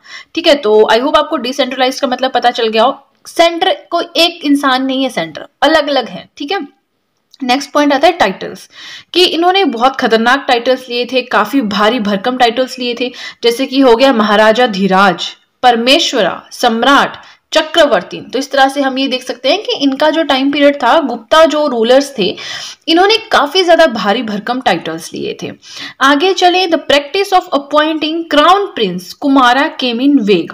Vogue मतलब ये फ़ैशन में आया क्या चीज़? कि कुमार एक होना चाहिए क्राउन प्रिंस या राजकुमार कह लीजिए, एक होना चाहिए। तो ये अपॉइंट करना है एक क्राउन प्रिंस अपॉइंट करना है एक कुमार, ये फ़ैशन में आ गया था ये स्टाइल ठीक है? नेक्स्ट पॉइंट आता है काउंसिल ऑफ़ मिनिस्टर्स अब जो किंग है, वो अकेले तो सब कुछ नहीं हैंडल कर सकता, है ना? तो उसके लिए एक मिनिस्टर्स के काउंसिल चाहिए। आप कहते हैं ना, मंत्री परिषद होता है जैसे, है ना? तो वो चाहिए। तो काउंसिल ऑफ़ मिनिस्टर्स था टू असिस्ट द किंग जो राजा है, जो शासक है, उसकी सहायता करने के लिए। जिसे कहते थे महामंत्री मंडलम या महामंत्री परिषद। वही चीज़ जो आज की डेट में अब इनमें कौन कौन होता था? सीएम हो गया, यानी कि चीफ मिनिस्टर हो गया, सेनापति हो गया, जैसे कि हम कमांडर इन चीफ कहते तो इस तरह से बहुत सारे मिनिस्टर्स होते थे। और जो ये महामंत्री मंडलम है, या फिर हम कह लीजिए महामंत्री परिषद है, ये जो चीज़ है, ये हमें इसके बारे में हमें जानकारी मिलती है अलाहाबाद पिल्लर इंस्क्रिप्शन से। ठीक है? देखिए, होता क्या है ना कि हम शासकों के बारे में पढ़ लेते हैं एंड देन हो गया। हमने पढ़ लिया गुप्ता डायनेस्टी बट देखिए, अब कंपटीशन इतना ज़्यादा बढ़ गया है कि अब रूलर्स में से कुछ नहीं आता। अब कोई नहीं आपसे पूछेगा इंडियन नेपोलियन कौन था? कौन सा गुप्त शासक था? कोई नहीं पूछेगा कि वी एस स्मिथ ने कौन से शासकों का। कोई नहीं पूछेगा। अब क्वेश्चन मेनली चलते हैं आपके एडमिनिस्ट्रेशन से आर्ट एंड आर्किटेक्चर से साइंस से इकोनॉमी से लिटरेचर से। क्योंकि ये वाले पार्ट्स क्या है ना अबेंडेंट पार्ट्स होते हैं। पहले ने कोई पढ़ता नहीं था तो आप प्रीवियस ईयर क्वेश्चन पेपर्स देखेंगे अपनी स्टेट के भी, चार पाँच, तीन चार साल पहले के तो बड़े इजी क्वेश्चंस आते थे। पर अब का आप स्टैंडर्ड उठा के देखेंगे तो वो क्वेश्चन ही नहीं मिलते कि वो कहाँ से डालें। इतना ज़्यादा स्टैंडर्ड हाई हो गया है। तो देखिए, ऐसा नहीं कि जो मैं पढ़ा रही हूँ, आपने इसी पे स्टिक रहना है। आप पूरा बनाइए। देखिए, मैंने दो तीन सोर्सेज मैंने तमिलनाडु हिस्ट्री बुक से गोयल पब्लिकेशन से, और भी बहुत सारी मतलब जो जो मुझे मिलता है, जहाँ से कंटेंट वो मैं अपने नोट्स में इनकॉर्पोरेट करती हूँ। बट ये आपकी ड्यूटी है कि आप देखें, पढ़ें। अगर आपको लगता है कि कम लिखा है तो खुद एक बार जो भी बुक आपके पास, उस पर चेक करें। पर आलतू फालतू बुक से ना पढ़े। कोई स्टैंडर्ड बुक जिसका मतलब एक होता है ना कि कोई रेप्यूटेड बुक है तो उसी में से पढ़े। क्योंकि अगर आप गलत बुक से पढ़ेंगे डिफरेंट सोर्सेज में अलग अलग बातें दी होती हैं। फिर वो ज़रूरी नहीं कि सभी सही हो, है ना? चलिए, बातें हो गई। हम पढ़ेंगे अब इंपॉर्टेंट ऑफिशियल्स के बारे में। कि इंपॉर्टेंट ऑफिशियल्स हैं जी रॉयल पैलेस का एलिफेंट कॉप्स का, कौन किसका हेड होता है, क्या उसे बुलाते थे, वो सब हम पढ़ेंगे। इसी के साथ वीडियो पसंद आए तो लाइक ज़रूर करना। लाइक करने में कोई भी कंजूसी बिल्कुल मत करना। चलिए इंपॉर्टेंट ऑफिशियल्स के बारे में पढ़ते हैं। Capital and field of work. Capital भी नहीं आप इसे हेड कह सकते हैं। जैसे महाप्रतिहारी है, दांडा पाशिका है, महाप्रजापति है तो कैपिटल नहीं आप इसे हेड कह सकते हैं एक तरह से। जिस बुक से मैंने लिखा, वहाँ पे कैपिटल लिखा है तो मैंने एज इट इज़ लिखा है बट अगर आपको सही ना लगे, आप हेड यहाँ पे इनकॉर्पोरेट कर सकते हैं। देखिए, पहला है महाप्रतिहारी। महाप्रतिहारी को कौन होता है महाप्रतिहारी? Chief usher of royal palace, जो पूरा कामकाज संभालता है। ठीक है? डांडा पाशिका, ये कौन होता है? Chief officer of police department. I don't think समझाने की ज़रूरत है, पुलिस डिपार्टमेंट का जो भी हेड उन्होंने बनाया होगा, उसे नाम दे दिया है डांडा पाशिका का। महाप्रजापति महाप्रजापति किसे कहते हैं? Chief officer of elephant corps हाथियों का एक दल होता है, उसका जो चीफ ऑफिसर है, उसे नाम दे दिया महाप्रजापति। तो इस तरह के क्वेश्चन आते हैं अब। ठीक है? नेक्स्ट आते हैं विनय स्थिति स्थापक। विनय स्थिति स्थापक। ये कौन होता है? Chief officer of religious affairs धर्म से रिलेटेड जो भी धर्म कांड होंगे, उन्हें कह दिया विनय स्थिति स्थापक। महाअश्वपति देखिए प्रजापति है, अश्वपति है, स्थिति स्थापक है, बड़ी इजी है याद करना, है ना? टफ रहते हैं ये प्रतिहारी वाला, पाशिका वाला, डांडा नाके वाला तो लगाओ थोड़ा थोड़ा अपना आइडिया रटने की ज़रूरत नहीं है बार बार पढ़ो, समझने की कोशिश करो कि वो लोग क्या सोचते होंगे, थोड़ा उस हिसाब से अंडरस्टैंड करो, क्योंकि रटोगे ना क्या क्या याद करोगे? मॉरियंस का है। बस आगे तब यही चलता जाएगा। मुगल पढ़ेंगे आप, उसमें भी बहुत है ठीक है? चलिए, विनय स्थिति स्थापक हो गया, chief officer of religious affairs. महाअश्वपति कौन हो गया? चीफ ऑफिसर या चीफ ऑफ़ कैविलरी? ठीक है, जो घोड़ों की सेना होती है। अश्व क्या होते हैं? घोड़े तो घोड़ों का हेड हो गया, ठीक है? फिर नेक्स्ट आता है महादंड नायका। महादंड नायका दंड कौन देता है? ठीक है मिनिस्टर ऑफ़ जस्टिस जो न्याय देता है, वही दंड देगा। तो इस तरह से आप याद कर सकते हैं। चलिए, ये भी हो गया हमारा। अब आगे चलने से पहले आपको एक चीज़ से इन्फॉर्म करना चाहूँगी, आपको एक चीज़ बताना चाहूँगी कि मैं देखिए डेली करंट अफेयर्स भी अपने चैनल पे अपलोड करती हूँ। तो अगर आप गवर्नमेंट एग्जामिनेशन के लिए प्रिपेयर कर रहे हैं तो आपको ये चीज़ तो बहुत ही ज़्यादा अच्छे से पता होगी कि करंट अफेयर्स की क्या वैल्यू है, कितना ज़्यादा सिग्निफिकेंट है करंट अफेयर्स को पढ़ना। ठीक है? तो आपसे रिक्वेस्ट है कि अगर आप पढ़ रहे हैं, तैयारी कर रहे हैं तो आप एक बार चैनल पे चेक कर सकते हैं। आपको अच्छा लगे तो आप कंटिन्यू कर सकते हैं। मैं डेली जो है करंट अफेयर्स अपलोड करती हूँ। 10 से 15 कई बार सतारह, अठारह, इतने पॉइंट्स भी कवर अप करती हूँ। मैं कोशिश करती हूँ अलग अलग जगह से जो है पॉइंट्स को कवर करूँ। तो अगर आप इंटरेस्टेड हैं तो आप एक बार चेकआउट कर सकते हैं चैनल पर डेली मैं अपलोड करती हूँ, ठीक है? एक दिन में एक वीडियो आती है करंट अफेयर्स के तो आप साथ में अपने नोट्स भी बना सकते हैं। बढ़िया आपके नोट्स बन जाएँगे। अदरवाइज़ परचेज करना है तो आप परचेज भी कर सकते हैं। चलिए नेक्स्ट पॉइंट आता है टू हायर ऑफिशियल्स अब जो ये गुप्ता शासक थे, इन्होंने दो हायर ऑफिशियल्स रखे थे, जिनके नाम थे क्या? संधि विग्राहिका एंड कुमारा मात्यास। दोनों के कुछ अलग अलग काम है, थोड़ा सा उसके बारे में जान लेते हैं। पहले जो है संधि विग्राहिका, ये क्या थी? First appeared under Samudragupta. Samudragupta को इंडियन नेपोलियन कहा है वी ए स्मिथ ने। याद आया? अगर आपने मेरी पुरानी वीडियोस देखी होंगी, आपको ध्यान में होगा। तो सबसे पहले जो ये संधि विग्राहिका, ये जो पोस्ट थी, ये आई थी समुद्रगुप्त के टाइम पीरियड में। राइट अब जो संधि विग्राहिका है, इस पोस्ट का, इस ऑफिशियल का मेंशन आपको मिलेगा गुप्ता इंस्क्रिप्शन में। राइट नेक्स्ट आता है probably minister for foreign affairs अब एक्चुअल में हमें नहीं पता कि क्या है बट थोड़ी जो हम स्टडी करते हैं, जो भी हिस्टोरियंस स्टडी करते हैं, उनके हिसाब से प्रोबेबली मीन्स शायद ये फॉरेन अफेयर्स का काम संभालते होंगे। ठीक है? तो संधि विग्राहिका हो गया। सेकेंड जो हायर ऑफिशियल है, वो कौन है? वो है कुमारा मात्याज। अब ये क्या करते थे? इनका क्या काम था? Chief cadre for recruiting higher officials under the Guptas. जो गुप्त रूलर्स थे जो गुप्ता डायनेस्टी थी इसके अंदर जो भी रूलर्स थे उनके लिए जो भी हायर ऑफिशियल्स की रिक्रूटमेंट है वो करेंगे कुमारा अमात्यास फॉरेन अफेयर्स संधि विग्राहिका और रिक्रूटमेंट करनी है हायर ऑफिशियल्स की तो कुमारा अमात्यास यहाँ से क्वेश्चन आ सकता है। हम क्या पढ़ रहे हैं? देखिए हम प्रशासन पढ़ रहे हैं तो प्रशासन में सब कुछ आता है। मिनिस्टर्स आते हैं टाइटल्स आते हैं आ, कौन कौन हायर ऑफिशियल थे वो सब आते हैं। लैंड रेवेन्यू भी हम पढ़ेंगे तो वो भी इसके अंडर आते हैं। रेवेन्यू में इंपॉर्टेंट चीज़ है लैंड रेवेन्यू अब देखिए जो राजा होता है, राजा के पास धन कहाँ से आएगा, है ना? तो देखिए main source of state's income राजा की जो इनकम का मेन सोर्स था वो था लैंड रेवेन्यू लोगों के पास ज़मीन है, उस पर वो कर अदा करेंगे, उससे राजा के पास पैसा आएगा, ठीक है? उससे वो क्या करेगा? बड़ी बड़ी कंस्ट्रक्शंस कराएगा बड़ी बड़ी लेक्स बनाएगा लोगों को दान करेगा क्वाइंस जो है इशू करवाएगा, सारे काम उससे तो होते हैं ना? और भी ऐसा नहीं, एक ही सोर्स होता है इनकम का, राजा के पास तो कई सोर्स होते हैं इनकम के, है ना? एक आधा बंद भी हो जाए तो फ़र्क नहीं होता। अब देखिए, अगर आपको याद होगा तो हमने ट्रेड रूट का पढ़ा था कि जो ये सिल्क रूट है, इसको भी गुप्त शासक जो है वो कंट्रोल करते थे, है ना? चलिए, ज़्यादा हम इधर उधर नहीं भटकेंगे अभी, हम रेवेन्यू की बात करें इसमें लैंड रेवेन्यू की बात करें तो लैंड रेवेन्यू जो है that was considered as the main source of state's income one fourth to one six of the produce जितनी भी प्रोडक्शन होगी, अगर आप सिक्सटी केजीज प्रोड्यूस कर रहे हो तो टेन केजीज आपको देना पड़ेगा किंग को। या फिर 40 के प्रोड्यूस करो 10 के देना पड़ेगा सरकार को गवर्नमेंट को। तो ये वन फोर्थ भी होता था वन सिक्स से वन फोर्थ से लेकर वन सिक्स तक हो सकता था। ठीक है? चलिए, इसी के साथ हमारा फ़र्स्ट पेज हो गया कंप्लीट अभी वीडियो कंप्लीट नहीं हुआ है, क्योंकि देखिए जो ये एडमिनिस्ट्रेशन है इकोनॉमी है art and architecture science astronomy literature religious literature इसमें से क्वेश्चंस आते हैं। तो मेरा मेन फोकस है कि जितना मैंने आपको रूलर्स के टाइम में पढ़ाया है ना, उससे ज़्यादा मैं आपको इन टॉपिक्स में कवर कराऊं। हर एक टॉपिक के लिए मैं अलग अलग वीडियो बनाऊँगी ताकि आपका ज़्यादा से ज़्यादा कंटेंट यहाँ पे कवर हो सके। ठीक है, देखिए, अभी वीडियो कंप्लीट नहीं हुआ है, अभी हमें नेक्स्ट पेज पे भी जाना है बट आगे चलने से पहले आपको एक चीज़ बताना चाहूँगी। अगर अब आप चाहें तो मुझे इंस्टाग्राम पे भी फॉलो कर सकते हैं। अपने इंस्टाग्राम अकाउंट का लिंक मैंने डिस्क्रिप्शन बॉक्स में दिया है। तो जल्दी से डिस्क्रिप्शन बॉक्स में जाएँ, उस लिंक पे क्लिक करें। जैसे ही आप उस लिंक पे क्लिक करेंगे, आपके सामने मेरा इंस्टाग्राम अकाउंट अपियर हो जाएगा। एंड देन आप मुझे वहाँ पर चाहें तो फॉलो कर सकते हैं। चलिए, ज़्यादा टाइम ना वेस्ट करते हुए अब चलते हैं नेक्स्ट पेज की तरफ़। अब नेक्स्ट पॉइंट जो आता है, वो है administrative heads and their units मतलब प्रोविंस को क्या कहते थे? प्रोविंस का हेड कौन होता था? डिस्ट्रिक्ट है विलेज है सिटी है, इनके हेड कौन होते थे? यहाँ से भी देखिए आपका एक तड़ा क्वेश्चन बनता है, ठीक है? तो एक साइड मैंने लिखा है यूनिट एक साइड लिखा है हेडेड बाय मतलब उसका हेड कौन था? तो देखिए सबसे पहले आता है प्रोविंस प्रोविंस को कहते थे भुक्ति और इसके हेड होते थे उपारिका. ये बहुत ज़्यादा इंपॉर्टेंट है, इसको आप नेग्लेक्ट मत कीजिएगा. नेक्स्ट आता है डिस्ट्रिक्ट डिस्ट्रिक्ट को बोलते थे थे विश्यास और इसके हेड होते थे विश्यापति। नेक्स्ट आता है सिटी और सब डिस्ट्रिक्ट जिसे कहते थे नगर या पेट विलेज ठीक है, इनके हेड होते थे पुरुपाला या नगरपति। देन आता है आपका विलेज विलेज माने ग्राम, इसके हेड होते थे ग्रामिका। तो ये दो तो आप इजीली याद कर सकते हैं। ऊपर वाले दो भी आप थोड़ा कोशिश करें, याद हो जाएगा टाइम के साथ। ठीक है? चलिए कंटेंट पसंद आए वीडियो का तो लाइक ज़रूर कीजिएगा। आप लोग लाइक करने में बहुत ज़्यादा कंजूसी करते हैं तो लाइक करने में बिल्कुल भी कंजूसी, बिल्कुल मत करना, ठीक है? चलिए नेक्स्ट आता है नगर श्रेष्ठी नगर श्रेष्ठी कौन होते थे? Officials looking after the city administration city में जो प्रशासन है, ढंग से चल रहा है या नहीं, ये काम किसका था? नगर श्रेष्ठीज का था।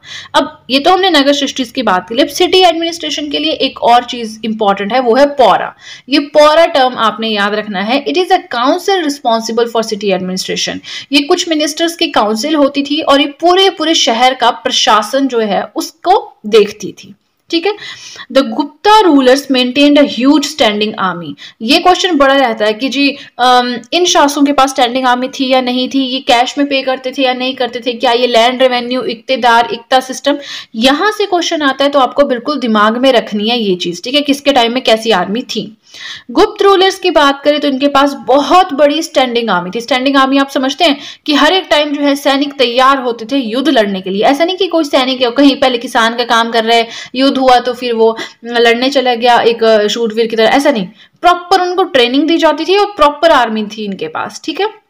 नेक्स्ट आता है सेना भक्ता। सेना भक्ता क्या होता है? It is it was a form of tax ठीक है? एक टैक्स की एक प्रकार था। दैट इज़ अब ये बड़ा इंटरेस्टिंग है, देखिएगा आप। Army was to be fed by the people whenever it pass through the countryside मान लीजिए कहीं युद्ध के लिए जा रहे हैं। ठीक है, गुप्त शासक है इनकी उसकी आर्मी कहीं, उनकी आर्मी कहीं युद्ध के लिए जा रही तो किसी भी गाँव से होकर जब गुजरती है तो उस गाँव के लोगों की रिस्पॉन्सिबिलिटी है कि उनको, उन आर्मी वालों को खाना खिलाएँ। ठीक है मतलब अगर वो गुप्त शासक के अंडर है वो एरिया तो उन गाँव वालों की रिस्पॉन्सिबिलिटी है कि वो उन आर्मी वालों को खाना खिलाएँ। ये एक तरह का टैक्स होता था होता था जिसे कहते थे सेना भक्ता ठीक है नाउ देखिए कंटेंट पसंद आए तो लाइक ज़रूर करना। लाइक लाइक बटन को जल्दी से जल्दी प्रेस करो। लास्ट पॉइंट हमारा है also experience and excess of land grants land grant समझते हैं, किसी को ज़मीन दान में दे देना। तो ये दान में देने वाला काम गुप्ता रूलर से जो है काफ़ी ज़्यादा फोकस में आया, जिसमें आता है, अगर हरा ग्रांट्स है, देवग्रह ग्रांट्स है तो अगर यहाँ पे ये क्या है, ऐसा क्वेश्चन आ जाए तो आप बोल सकते हैं कि हाँ क्वेश्चन के हिसाब से एमसीक्यूज के हिसाब से कि लैंड ग्रांट्स है, गुप्त जो गुप्त शासक थे, गुप्त रूलर थे, उनके टाइम पे दी जाती थी। ठीक है? चलिए, अब आज का हमारा जो टॉपिक था, जो हमारा एडमिनिस्ट्रेशन का टॉपिक था, वो हो गया कंप्लीट अभी देखिए, हमें आगे कितना कुछ पढ़ना है। हमें आर्ट एंड आर्किटेक्चर पढ़ना है science astronomy literature culture religious literature बहुत कुछ पढ़ना है तो अभी गुप्त रूलर खत्म नहीं हुआ है। कमेंट्स आ रहे थे मैम, गुप्त शासक खत्म हो गए क्या अब हमें हर्षवर्धन पढ़ना है? नहीं। हर्षवर्धन तक पहुँचते पहुँचते अभी टाइम लगेगा। थोड़ा पेशेंस रखो। आप गुप्त रूलर पढ़ रहे हैं तो इनको इतने अच्छे से पढ़ो कि कोई भी क्वेश्चन आए तो हम कर पाए। ठीक है? आज के वीडियो में हम पढ़ेंगे कि गुप्ता रूलर्स के अंडर सोसाइटी यानी सोशल लाइफ यानी सामाजिक जीवन कैसा था। ठीक है? तो जल्दी से पेपर पेन उठाएँ और वीडियो के साथ साथ में ही अपने नोट्स मेंटेन करना स्टार्ट करें। फ़र्स्ट पॉइंट आता है the supremacy of the Brahmins continued जो पंडित होते हैं, ब्राह्मण होते हैं, उनकी सुप्रीमेसी बहुत ज़्यादा बढ़ गई थी। वो खुद को बहुत महान मानने लगे थे, क्योंकि जितने भी कर्म कांड पंडित ही करेंगे, ब्राह्मण ही करेंगे। तो इसकी वजह से उनकी प्रतिष्ठा उनकी सुप्रीमेसी काफ़ी ज़्यादा बढ़ गई थी। Accumulated wealth through land grants अब इनके पास पैसा भी बहुत इकट्ठा हो गया था। पैसा कैसे इकट्ठा होगा? कि हमने देखो, एक चीज़ पढ़ी थी कि जो गुप्त शासक थे, जो गुप्ता रूलर्स थे, इन्होंने क्या किया? लैंड ग्रांट्स देना पंडितों को, ब्राह्मण्स को स्टार्ट किया था। तो इससे क्या हुआ? ब्राह्मण्स के पास बहुत सारी जमीनें हो गई। अब जिसके पास बहुत सारी लैंड होगी, वो अमीर हुआ कि नहीं हुआ? है ना? तो इस तरह से उनके पास वेल्थ यानी धन बहुत हो गया था।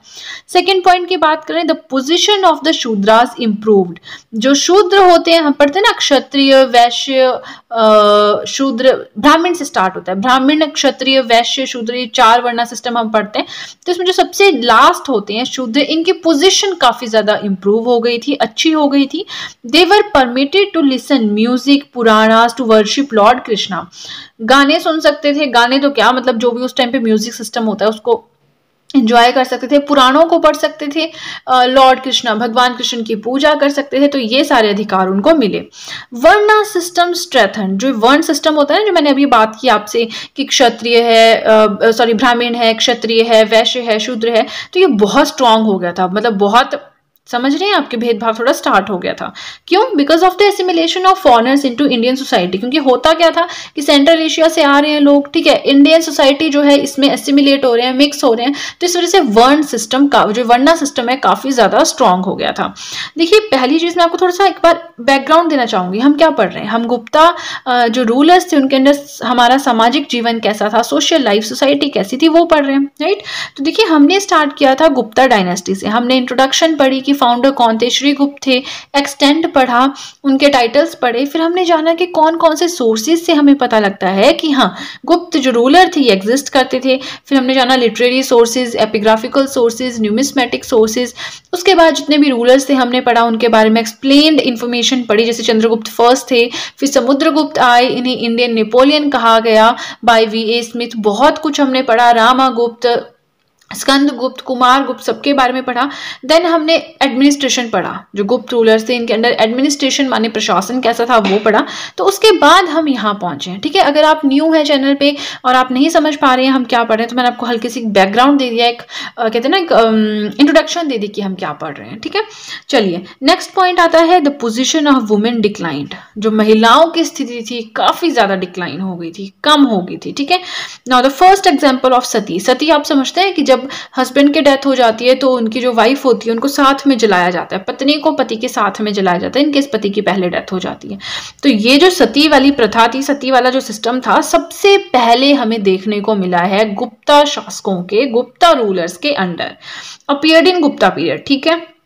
Referred in Eran inscription MP 510 AD 510 AD की एक इंस्क्रिप्शन मिली है, ईरान इंस्क्रिप्शन कहाँ पे मिली है, एमपी में मिली है, उसमें इस चीज़ का ज़िक्र किया गया है। देखिए हिस्टोरियंस करते क्या है? जो भी हमें पुरानी चीज़ें मिलती हैं, उन पे क्या लिखा है, पुराने बुक्स मिलती हैं, उन पे क्या लिखा है, उसकी स्टडी करते हैं, चीज़ों को रिलेट करते हैं एंड देन हमें अपने इतिहास के बारे में पता चलता है। तो वैसे सती का पता कैसे चला कि हाँ गुप्ता पीरियड में ये चीज़ अपियर हुई थी। उन्होंने इंस्क्रिप्शन पढ़ी ईरान इंस्क्रिप्शन 510 एडी की है, किसका टाइम पीरियड था? गुप्तास का था। कहाँ पे मिली है? एमपी में मिली है। इसमें ज़िक्र है सती का। अब इसमें बताया भी कि किसने सबसे पहले सती जो ये चीज़ है, इसे परफॉर्म किया था। The wife of Goparaja perform sati commander of Bhanugupta Bhanugupta एक शासक थे। ठीक है? उनके कमांडर थे गोपा राजा। तो जब गोपा राजा की डेथ हो गई तो उनकी वाइफ ने सती को सबसे पहले परफॉर्म किया था। देखिए, है क्या कि हम मेनली हम पाँच शासक शासकों के बारे में पढ़ते हैं। चंद्रगुप्त फ़र्स्ट हो गए, फिर समुद्रगुप्त हो गए, चंद्रगुप्त सेकंड हो गए कुमार गुप्त हो गए, स्कंदगुप्त हो गए। बस इनके बारे में हम एक्सप्लेन्ड इन्फॉर्मेशन पढ़ते हैं। लेकिन ऐसा नहीं कि सिर्फ़ ये पाँच ही रूलर थे, और भी थे। बट वो वीक रूलर्स थे, इतने स्ट्रांग नहीं थे तो उनके बारे में हम नहीं पढ़ते हैं। उनमें से ही एक थे भानुगुप्त। बट उनके टाइम में ये चीज़ हुई थी तो फिर इसलिए यहाँ पे थोड़ा सा हाईलाइट हो गए ठीक है? नेक्स्ट आता है पॉलीगैमी पॉलीगैमी काफ़ी ज़्यादा कॉमन चीज़ है तो मुझे नहीं लगता ये सब आपको बताने की ज़रूरत है, बड़ी बेसिक सी चीज़ें देखिए वीडियो का कंटेंट अच्छा लगे तो लाइक ज़रूर करना। आप लोग लाइक करने में बहुत ज़्यादा कंजूसी करते हैं तो वो चीज़ मत करना। ठीक है वीडियो पसंद आए तो लाइक ज़रूर कीजिएगा।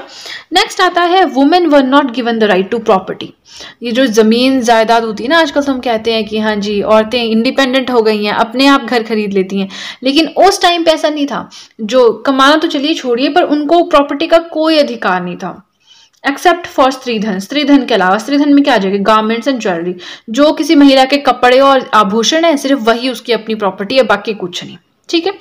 चलिए, आगे चलने से पहले आपको एक चीज़ बताना चाहूँगी। मैं डेली करंट अफेयर्स भी अपने चैनल पे अपलोड करती हूँ तो अगर आप करंट अफेयर्स पढ़ने में इंटरेस्टेड हैं, आप देख सकते हैं। 10 से 15 पॉइंट्स समटाइम 17 पॉइंट्स में डिस्कस करती हूँ। नेशनल इंटरनेशनल स्पोर्ट्स सभी लेवल्स के जो हैं, वो वहाँ पे कवर करती हूँ। तो देखिए डेली अपलोड करती हूँ हैंड रिटन नोट्स हैं, दो तीन एप्लीकेशन हैं मेरे पास, कुछ वेबसाइट्स के थ्रू जो यूपीएस की वेबसाइट्स है, वहाँ से देखती हूँ। तो काफ़ी बेस्ट जो मुझे पॉइंट्स लगते हैं, वो मैं इनकॉर्पोरेट करती हूँ। तो अगर आप इंटरेस्टेड हैं करंट अफेयर्स पढ़ने में, वैसे भी देखिए आप तैयारी कर रहे हैं तो करंट अफेयर्स की तो आपको ज़रूरत है ही है। ऐसे तो है नहीं कि आप करंट अफेयर्स को नेग्लेक्ट कर देंगे, है ना? तो वो तो आपको पढ़ने ही पड़ेंगे और दिन में अगर आप आधा घंटा भी करंट अफेयर्स को डेली दे रहे हो ना तो आपकी बहुत स्ट्रांग हो जाएगी, बहुत अच्छी कमांड हो जाएगी न्यूज़ के ऊपर, ठीक है?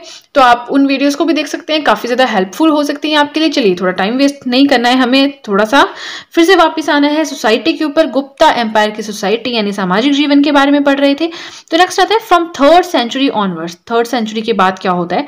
Practice of untouchability appears to be intensified untouchability क्या होती है? छुआछूत। हम कहते हैं ना कि वो दूसरी जाति के हैं, है ना? तो उनको घर में नहीं एंटर होने देना या उनसे नहीं छू, छूना, ऐसे इस तरह से। तो ये जो प्रैक्टिस थी, ये काफ़ी ज़्यादा इंटेंसिफाई मतलब बढ़ गई थी। कब? गुप्ता शासकों के टाइम पीरियड में। देयर नंबर राइज मतलब जो अनटचेबिलिटी के केसेस थे ना, ये बहुत ज़्यादा बढ़ गए थे।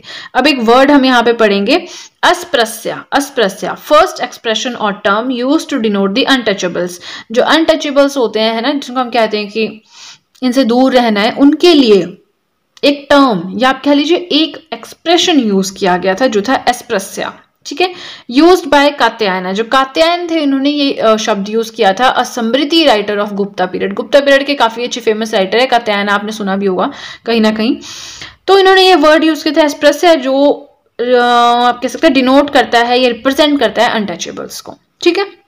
नेक्स्ट पॉइंट आता है under the patronage of Gupta ruler Vaishnavism became very popular Vishnu भगवान की पूजा विश्व वैश ये जो होता है वैष्णविज्म, ये काफ़ी ज़्यादा पॉपुलर हो गया था गुप्त रूलर्स के टाइम पीरियड में. Idol worship became common feature of Hinduism Hinduism में मूर्ति पूजा जो है वो बिल्कुल कॉमन सी चीज़ हो गई थी. मूर्तियों की पूजा करते हैं ना शिव जी, भगवान की, दुर्गा माता की, गणेश जी की. तो दूर सॉरी तो जो ये मूर्ति पूजा थी आइडल वर्शिप थी, ये कॉमन फीचर हो चुका था हिंदुइज्म का. एंड आगे चलने से पहले लास्ट पॉइंट है हमारा आज का। आपको एक चीज़ और बताना चाहूँगी। अगर अब आप चाहें तो मुझे इंस्टाग्राम पे भी फॉलो कर सकते हैं। अपने इंस्टाग्राम अकाउंट का लिंक मैंने डिस्क्रिप्शन बॉक्स में दिया है। तो जल्दी से डिस्क्रिप्शन बॉक्स में जाएँ, उस लिंक के ऊपर क्लिक करें। जैसे आप उस लिंक पर क्लिक करेंगे, आपके सामने मेरा अकाउंट अपियर हो जाएगा। तो आप फिर आप चाहें तो मुझे फॉलो भी कर सकते हैं। चलिए, आज का लास्ट पॉइंट है। देन हमारा जो गुप्ता इकोनॉमी का सोसाइटी वाला पॉइंट है, ये हो जाएगा कंप्लीट सो इसमें क्या आता है? It is considered as a period of evolution of Vajrayanism and Buddhist tantric cults Vajrayanism क्या है? थोड़ा जादू से रिलेटेड है और तैंत्रिक कर्ल्स ये भी कुछ वैसा ही है। तो इन चीज़ों का इवोल्यूशन भी कब हुआ था? इनका आगमन भी कब हुआ था? गुप्ता पीरियड के टाइम पीरियड में ही हुआ था, ठीक है? तो इसी के साथ उनकी सामाजिक लाइफ कैसी थी सोशल लाइफ कैसी थी, ये हमने पढ़ लिया। काफ़ी इंपॉर्टेंट पॉइंट्स मैंने देखी, यहाँ पे डिस्कस किए हैं दो तीन जगह से किए हैं। मेन मेरा जो सोर्स है ना एंशंट के लिए अब भी राइट नाउ वो तमिलनाडु हिस्ट्री बुक है। तो मैं कोशिश करती हूँ कि ज़्यादा से ज़्यादा पॉइंट्स यहाँ पे कवर करूँ, ताकि आपको फिर बार बार इधर उधर ना भटकना पड़े, ठीक है? तो आप मुझे कॉमेंट सेक्शन में ज़रूर बताएँ, पहली चीज़ तो ये कि आप नोट्स बनाते हैं या नहीं? क्योंकि देखिए, मैं बार बार इतना ज़्यादा स्ट्रेस देती हूँ कि नोट्स बनाए नोट्स बनाए। इससे होगा क्या कि आपकी बहुत अच्छी कमांड हो जाएगी। एक बार देखिए, आपके नोट्स बन गए तो कभी भी कोई एग्ज़ाम आया, फटाफट से नोट्स उठाए और पढ़ लिए। फिर आपको भटकना नहीं पड़ेगा कि अरे उधर जाना है, इधर जाना है। आप मेरे साथ भी नोट्स बनाएँगे ना अगर मैं एक डेढ़ महीने में दो तीन, दो सब्जेक्ट्स तो कवर कर ही देती हूँ। ज़्यादा से ज़्यादा कह लीजिए, एक महीने में एक सब्जेक्ट ऑन एन एवरेज तो अब इस तरह से आपके नोट्स बहुत जल्दी और साथ साथ में प्रिपेयर हो जाएँगे। आज के वीडियो में हम पढ़ेंगे द गुप्ता इकोनॉमी के बारे में। तो देखिए, हम गुप्ता डायनेस्टी के बारे में पढ़ रहे थे। स्टार्टिंग में हमने थोड़ा सा इंट्रोडक्शन जाना बैकग्राउंड जाना फाउंडर के बारे में जाना। फिर हमने जाना ऐसे कौन कौन से सोर्सेज हैं जिनसे हमें ये पता लगता है कि हाँ ये डायनेस्टी एग्जिस्ट करती थी। तो हमने सोर्सेज में literary sources numismatic sources epigraphical sources sources इन सब के बारे में पढ़ा। उसके बाद हमने रूलर्स की एक्सप्लेनेशन पढ़ी कि हाँ किसे इंडियन नेपोलियन कहते हैं और समुद्रगुप्त, स्कंदगुप्त, कुमारगुप्त, चंद्रगुप्त सबके बारे में पढ़ा। फिर हमने Gupta administration and Gupta society cover किया। तो आज हम पहुँचे हैं गुप्ता इकोनॉमी तक। आपको एक ब्रीफ इंट्रोडक्शन मैंने दे दिया। तो जल्दी से पेपर पेन उठाएँ और वीडियो के साथ साथ में ही अपने नोट्स मेंटेन करना स्टार्ट करें। पहला पॉइंट है many scholars state was exclusive owner of land बहुत सारे स्कॉलर्स का ये मानना था कि जो जगह ज़मीन है ना लैंड है, ठीक है, उसके ओनर कौन है? स्टेट स्टेट मतलब गवर्नमेंट गवर्नमेंट मतलब किंग जो शासक है, उसके अंडर है, शासक ही जो है, वो मेन ओनर है लैंड का। और इस चीज़ का प्रूफ हमें कहाँ से मिलता है? पहाड़पुर कॉपर प्लेट इंस्क्रिप्शन जो कि बुद्धा गुप्ता की है, उससे हमें इस चीज़ का पता लगता है। अब आप सोचेंगे, बुद्धा गुप्त के बारे में तो हमने पढ़ा ही नहीं। हमने तो चंद्रगुप्त स्कंदगुप्त कुमार गुप्त समुद्रगुप्त, इन सब के बारे में पढ़ा। तो देखिए, जो प्रॉपर एक्सप्लेनेशन है, वो हम पाँच ही रूलर्स की पढ़ते हैं, ठीक है? लेकिन उसके अलावा जब हम पढ़ते हैं ना लास्ट रूलर कौन थे? स्कंदगुप्त, कुमारगुप्त, उनको हम पढ़ते हैं। तो उनके बाद क्या होता है? हून इन्वेजन होने स्टार्ट हो गए थे उस टाइम पीरियड में। तो जितने भी रूलर्स आए, वो काफ़ी ज़्यादा वीक थे, इतने स्ट्रांग नहीं थे कि वो पूरे जो नॉर्दर्न इंडिया है, उसको इंटैक्ट रख पाए। तो उनके एक्सप्लेनेशन हम पढ़ते ही नहीं, क्योंकि उनके बारे में है नहीं कुछ पढ़ने के लिए। तो उनमें से ही एक थे बुद्धागुप्त। इनके एक इंस्क्रिप्शन है पहाड़पुर कॉपर प्लेट इंस्क्रिप्शन इसके अकॉर्डिंगली जो लैंड है, उसका जो एक एक्सक्लूसिव कहते हैं कि प्रॉपर पूरी तरह से जो ओनर है, वो किंग होता था। ठीक है? चलिए, पहला पॉइंट हो गया। सेकंड पॉइंट है कि जो वहाँ पे लैंड होती थी, गुप्तास के टाइम में, गुप्त शासकों के टाइम में, उसको क्लासिफाई किया हुआ था। जो वेस्ट लैंड है मतलब जिसका कोई यूज़ ही नहीं है, उसे कहते थे खिला। जो कल्टिवेबल लैंड जहाँ पे खेती बाड़ी की जा सकती थी, अच्छी भूमि थी, उसे कहते थे क्षेत्र भूमि। हैबिटेबल लैंड जिस ज़मीन पे रह, रहा जाता था रह सकते थे रहने योग्य ज़मीन थी रह, समझ रहे आप? हैबिटेबल लैंड उसे कहते थे वास्तु भूमि पास्चर लैंड जहाँ पे चरागाह जा सकते थे ठीक है? उसे कहते हैं चरागाह भूमि. फॉरेस्ट लैंड ये है अप्रहाता भूमि फॉरेस्ट आप समझ गए, जंगल वगैरह जहाँ पे होते थे। तो इस तरह से लैंड को पाँच टाइप्स में डिवाइड किया हुआ था। वेरी इंपॉर्टेंट वीडियो का कंटेंट अच्छा लगे तो लाइक बटन ज़रूर प्रेस करिएगा। नेक्स्ट पॉइंट आता है लैंड सर्वेज एविडेंस अब उस टाइम पे ज़मीन के सर्वे भी किए जाते थे। इस चीज़ का एविडेंस हमें कहाँ से मिलता है? हमें मिलता है पूना प्लेट्स ऑफ़ प्रभावती गुप्ता। प्रभावती गुप्ता रुद्र सिम्हा ये सब हम पढ़ चुके हैं। यहाँ पे मैं डिस्कस नहीं करूँगी, नहीं आपने पढ़ा है। तो मेरी जो प्रीवियस वीडियोज़ है ठीक है प्लेलिस्ट में जाइए एंशंट हिस्ट्री में जाइए, वहाँ पे आपको प्रॉपर प्लेलिस्ट सिंक्रोनाइज मिल जाएँगी प्रॉपर क्रोनोलॉजी में मिल जाएँगी, वहाँ पे आप पढ़ सकते हैं गुप्तास के बारे में। वहाँ पे हमने प्रभावती गुप्त का बहुत अच्छे से ज़िक्र किया है। फ़िलहाल आप इतना समझ लीजिए कि इनके जो पूना प्लेट्स हैं, उनसे हमें इस बात का प्रूफ मिलता है एविडेंस मिलता है कि हाँ उस टाइम पे लैंड सर्वेज होते थे। नेक्स्ट पॉइंट आता है पुस्तपाला। पुस्तपाला कौन थे? Officer in-charge for maintaining records of all the land transactions land से रिलेटेड जो भी ट्रांजेक्शन हैं, उसके सारे के सारे रिकॉर्ड रखने के लिए जो हेड होता था ऑफिसर होता था, उनको हमने टाइटल दिया है पुस्तपाला का। ठीक है? चलिए, अब आगे चलते हैं बट आगे चलने से पहले आपको एक चीज़ बताना चाहूँगी। अगर अब आप चाहें तो मेरे हैंड रिटन नोट्स को परचेज भी कर सकते हैं। उसके लिए आपको क्या करना है? डिस्क्रिप्शन बॉक्स में लिंक दिया है, उस लिंक पे जाके क्लिक करना है। जैसे ही आप उस लिंक पे क्लिक करेंगे, आप डायरेक्टली मेरे कॉन्टैक्ट में आ जाएँगे प्लस जो भी आपके डाउट्स हैं क्वेश्चन हैं क्वेरीज हैं, आप वहाँ पर पूछ सकते हैं। एंड बिलीव में बहुत ही ज़्यादा अफोर्डेबल रेट पर आपको नोट्स मिल जाएँगे तो ऐसा कोई इशू नहीं है। ठीक है? देखिए, आपको मैं नोट्स भी प्रोवाइड करवा रही हूँ और उन्हीं नोट्स से मैं आपको यूट्यूब पे पढ़ाती हूँ। तो अगर आपको कोई भी डाउट रहता है, आप पीडीएफ परचेज करते हैं, उसके बाद आपको कोई डाउट रहता है, कहीं कुछ समझ नहीं आ रहा तो आप उस टॉपिक से रिलेटेड वीडियो देख सकते हैं एंड देन आपका डाउट क्लियर हो जाएगा। तो इससे होगा क्या? आपको बहुत ही कम प्राइस में बहुत ही अच्छा एक पूरा का पूरा कोर्स मिल जाएगा। देखिए, मेरी रिक्वेस्ट आपसे यही है कि आप अपने नोट्स अपने आप बनाएँ बट कई बार क्या होता है ना कॉलेज में हैं जॉब कर रहे हैं, कोई कोर्स कर रहे हैं टाइम नहीं है नोट्स बनाने का, उस केस में आप नोट्स परचेज कर सकते हैं, साथ में वीडियोस देख सकते हैं एंड आपकी बहुत बड़ी प्रॉब्लम सॉल्व हो जाएगी। चलिए, ज़्यादा टाइम ना वेस्ट करते हुए अब आगे बढ़ते हैं, हम गुप्त शासक जो थे, उनकी इकोनॉमी उनकी अर्थव्यवस्था के बारे में पढ़ रहे हैं। So they issued largest number of gold coins in India but not as pure as Kushans सबसे ज़्यादा सोने के सिक्के जो इंडिया में इशू किए गए थे, वो थे गुप्त शासकों के टाइम में बट वो इतने ज़्यादा प्योर नहीं थे जितने कुषाणों के थे। ठीक है इंडो ग्रीक्स ने किए कुषाणों ने किए, अब हम गुप्त शासकों में पढ़ रहे हैं। डिफरेंस क्या है, वो मैं आपको बहुत ही अच्छे से पहले एक्सप्लेन कर चुकी हूँ। ठीक है? नेक्स्ट आता है ट्रेड ट्रेड क्या होता है? व्यापार करना. So decline in long distance trade जो बहुत हम कहते हैं ना लॉन्ग डिस्टेंस ट्रेड क्या होता है? कि बहुत दूर दूर तक व्यापार होता है तो उसमें डिक्लाइन हो गया था. बहुत दूर तक व्यापार नहीं होता था. Trade with Roman empire decline after third century AD third century AD के बाद क्या हुआ कि रोमन एम्पायर के साथ तो ट्रेड बिल्कुल खत्म ही हो गया था एक तरह से। While south east Asian trade increase south east समझते हैं जो इंडिया के इस वाले पार्ट में आते हैं जापान वगैरह, इस साइड को ट्रेड बढ़ चुका था जो गुप्त शासक आए उनके टाइम पीरियड में। ठीक है? अब देखिए, यहाँ पे मैंने साउदर्न इंडिया बनाया है तो मैंने रफ सा यहाँ पे स्केच किया है, आपको कुछ बताना चाहती हूँ। यहाँ पे कुछ इंपॉर्टेंट पोर्ट्स हैं, जैसे भरोच है, चौल है, कल्याण है, कैम्बे है। ऐसा नहीं सोचना इस सीक्वेंस में, मैंने यहाँ पे इसलिए लिखी क्योंकि होता क्या है। हमसे पूछते हैं कि ईस्टर्न कोस्ट है या वेस्टर्न कोस्ट तो देखिए, ये आपका ईस्टर्न कोस्ट है, या आपका वेस्टर्न कोस्ट है। तो यहाँ पे जो पोर्ट्स है, उनके नाम मैंने यहाँ लिख दिए हैं, जो इस साइड आते हैं, उनके यहाँ लिख दिए ताकि आपको याद करने में आसानी रहे।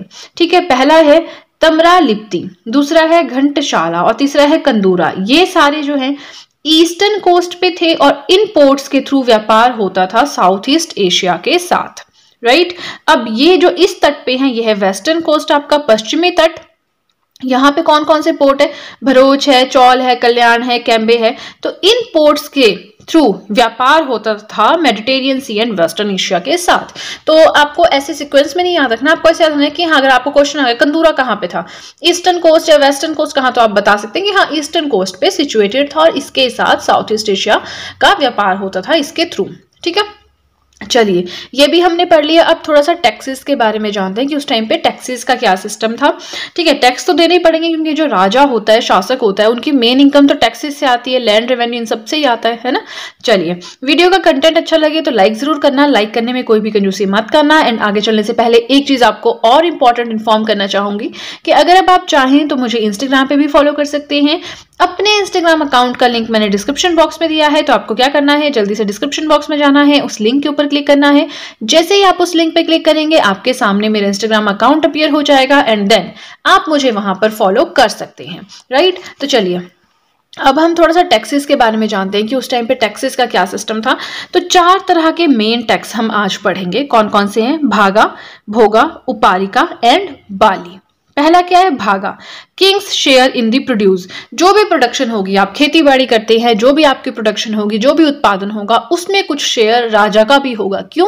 क्योंकि जो ज़मीन है, उसका मेन ओनर एक्सक्लूसिव ओनर कौन है? राजा है गवर्नमेंट है स्टेट है है ना?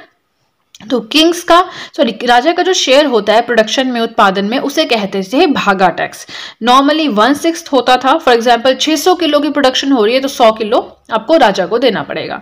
To be paid by cultivators जो खेती बाड़ी करते थे, उनको ये टैक्स सरकार को देना पड़ता था. ठीक है? भागा हो गया सेकेंड टैक्स है, भोगा. भोगा क्या था? Periodic supply of fruits firewood etcetera villagers had to provide to the king ये कुछ पीरियोडिक समझते हैं आपके एक फिक्स साइकिल के बाद पीरियोडिक हो सकता है हर एक महीने के बाद तो बार बार हर महीने बाद, हर महीने बाद, वो होगी पीरियोडिसिटी रेपिटेशन अगर बोल दीजिए छह महीने के बाद, बोल दीजिए एक हफ़्ते के बाद, है ना? तो पीरियोडिक सप्लाई मतलब एक पर्टिकुलर टाइम के बाद, जो विलेजर्स होते हैं, गाँव वाले होते हैं, उनको शासक को या कह लीजिए सरकार को कुछ फ्रूट्स हो गया फायरवुड हो गया, लकड़ी हो गए फ्यूल्स हो गए, जो भी वहाँ पे प्रोड्यूस होता है, जो भी वहाँ पे अबेंडेंस में होता है, वो बार बार राजा को भेजना पड़ता था एक पीरियोडिक टाइम के बाद, ठीक है? इस तरह के टैक्स को बोलते हैं भोगा टैक्स थर्ड आता है उपारी का tax and extra tax levied on all the subjects जितने भी सब्जेक्ट्स आप समझते हैं सब्जेक्ट्स को आप चीज़ों से मत समझना कि टेबल है चेयर है, नहीं। Extra tax levied on all subjects जितने भी लोग हैं, उनके ऊपर एक एक्स्ट्रा टैक्स उनको दे, देना पड़ता था, उसे कहते थे उपारी का। फिर आता है बाली। बाली क्या था? Earlier voluntary offering by the people voluntary क्या होता है? अपनी इच्छा से जो हम गिफ्ट देते हैं ट्रिब्यूट देते हैं। ठीक है, वो होता है वॉलेंट्री होता है अपनी इच्छा से। बट लेटर कंपल्सरी इसका मतलब है कि पहले जो ये बाली टैक्स था ना, ये सब अपनी इच्छा से देते थे। अगर कोई देना चाहता है, वो दे सकता था, कोई कंपल्सरी नहीं था, ज़रूरी नहीं था। लेकिन बाद में ये कंपल्सरी हो गया एडिशनल एंड ऑपरेसिव टैक्स एक तो ये एडिशनल टैक्स हो गया, पहले इतने टैक्स थे, आधे तो हमने पढ़े भी नहीं, हमें बस तो आधों की इन्फॉर्मेशन है है ना? उसके अलावा एक और टैक्स लगा दिया एडिशनल और ऑपरेसिव ज़बरदस्ती उनसे लिया जाता था। तो इस तरह से बाली क्या हो गया एक ऑपरेसिव टैक्स तो इसी के साथ हमने गुप्त शासकों की अर्थव्यवस्था के बारे में पढ़ा। आई होप मैंने आपको जो भी समझाया, आपको अच्छे समझ आया हो, आपको वीडियो अच्छी लगी हो। देखिए, गुप्त डायनेस्टी अभी कंप्लीट नहीं हुई है, इसमें काफ़ी कुछ है पढ़ने के लिए तो हम छोड़ तो नहीं सकते ना, क्योंकि एक टॉपिक अगर हम एक टॉपिक पढ़ रहे हैं तो उसे इतने अच्छे से पढ़ेंगे कि उसमें से कोई भी क्वेश्चन आए तो हाँ हम एबल हों उसे करने, है ना? तो हमें इस तरह से पूरा का पूरा टॉपिक पढ़ना है। आज के वीडियो में हम पढ़ेंगे religion art and architecture Gupta empire के टाइम में कैसा था, इस बारे में।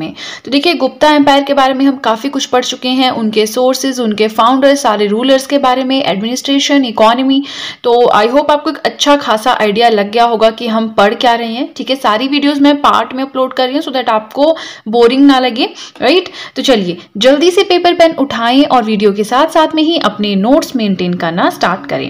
रिलीजन रिलीजन क्या होता है? धर्म। तो धर्म से रिलेटेड क्या सोचते हैं उन लोगों की? क्या उस टाइम पे आ, किस चीज़ का आप कहते हैं ना कि उद्भव हुआ, विकास हुआ डेवलपमेंट हुई, बस वो थोड़ा सा हमें पढ़ना है। काफ़ी शॉर्ट वीडियो होने वाला है। तो वीडियो को एंड तक ज़रूर देखें, काफ़ी ज़्यादा हेल्प आएगी आपके। रिलीजन यानी धर्म की बात करें तो Bhagavatism centred around the worship of Vishnu और भगवत भगवतीज्म का उस टाइम पे काफ़ी प्रचार हुआ डेवलपमेंट हुई। विष्णु की पूजा या भगवत की पूजा के सेंटर था मतलब इसका मेन फोकस था विष्णु भगवान, ठीक है? Bhagavad Gita was written in this period ऐसा माना जाता है कि भगवत गीता को इस टाइम पीरियड पे लिखा गया था। Idol worship in the temple became a common feature यानी कि मूर्ति पूजा करना मंदिरों में जाकर, ये कॉमन फीचर था इस टाइम पे right Buddhism. No longer receive royal patronage in the Gupta period Gupta शासक जब आए, उनके टाइम पीरियड में बुद्धिज्म को इतना बढ़ावा नहीं मिला जितना कि पहले मिलता था। राइट तो बस इतना सा था रिलीजन में। वीडियो का कंटेंट पसंद आए तो लाइक ज़रूर करना। राइट अब हम पढ़ेंगे आर्ट एंड आर्किटेक्चर कैसा रहा? तो देखिए, काफ़ी छोटे छोटे टॉपिक्स है बट क्वेश्चन कहीं से भी आ सकते हैं तो आपको तैयारी तो पूरी रखनी पड़ेगी, है ना? चलिए आर्ट के बारे में पढ़ते हैं बट आगे चलने से पहले आपको एक चीज़ बताना चाहूँगी। मैं डेली करंट अफेयर्स भी अपलोड करती हूँ। तो अगर आप करंट अफेयर्स पढ़ने में इंटरेस्टेड है, मेरी वीडियोज़ आप देख सकते हैं, आपके लिए काफ़ी ज़्यादा बेनिफिशियल प्रूव होंगी राइट तो चलिए आर्ट के बारे में जाने आर्ट माने कला। तो golden age of ancient India भी कहा जाता था गुप्त इरा को, गुप्ता पीरियड को द एज ऑफ़ गुप्ताज को। गोल्डन एज स्वर्णिम काल कहा जाता था प्राचीन भारत का। क्योंकि काफ़ी ज़्यादा डेवलपमेंट्स हुई इस टाइम में, इसीलिए कहा जाता होगा, है ना? तो Samudragupta represented on coins playing veena जो सिक्के इश्यू हुए थे समुद्रगुप्त के टाइम में उस टाइम पे इनको शो किया गया था सिक्कों के ऊपर एज प्लेइंग वीना जैसे वीना बजा रहे वीना वाजक भी इन्हें कहा जाता था। चंद्रगुप्त टू है इनके कोर्ट में इनके दरबार में नाइन ज्वेल्स आपको मिलेंगे मतलब नौ आप कहते हैं नौ रतन मिलेंगे जो काफ़ी ज़्यादा आर्टि, आर्टिस्टिक पर्सन होंगे पर्सनैलिटीज होंगे जैसे कालिदास कालिदास है अमर सिम्हा है धनवंतरी है वारह मिहिर है वरुचि है घट करना है और ये कश्यप रनाक है वेला भट्ट शंकु तो इसमें इंपॉर्टेंट ये कालिदास हो गया, धनवंतरी हो गया, अमर सिम्हा, वारा मेरे, दो चार इंपॉर्टेंट है तो इनका पता होना चाहिए, ठीक है? नेक्स्ट आता है भगलपुर। भगलपुर में क्या मिला है? Two metre high bronze images of Buddha of Gupta period Gupta time के, गुप्त काल की, बुद्धा की दो मीटर हाई ब्रॉन्ज की इमेज मिली है भगलपुर में। तो ये क्वेश्चन आ सकता है। बुद्धा सिटिंग इन धर्म चक्र मुद्रा सारनाथ सारनाथ का है? गुजरात में। तो सारनाथ में धर्म चक्र मुद्रा में बैठे हुए बुद्धा जो है, उनकी वैसी मूर्ति मिली है। पेंटिंग्स जो है, अजंता पेंटिंग्स हो गई पेंटिंग सेट बाघ एमपी हो गई बिलोंग टू बुद्धिस्ट आर्ट तो यहाँ पे जो पेंटिंग्स मिली हैं, वो बुद्धिस्ट आर्ट से रिलेटेड है। अब देखिए, इसमें समझाने वाला तो कुछ नहीं है। ये सिर्फ़ एक अलग अलग तरह के कंटेंट्स हैं तो मैं चाहती हूँ कि हर एक चीज़ आप तक पहुँच जाए एंड दैट्स इट ठीक है?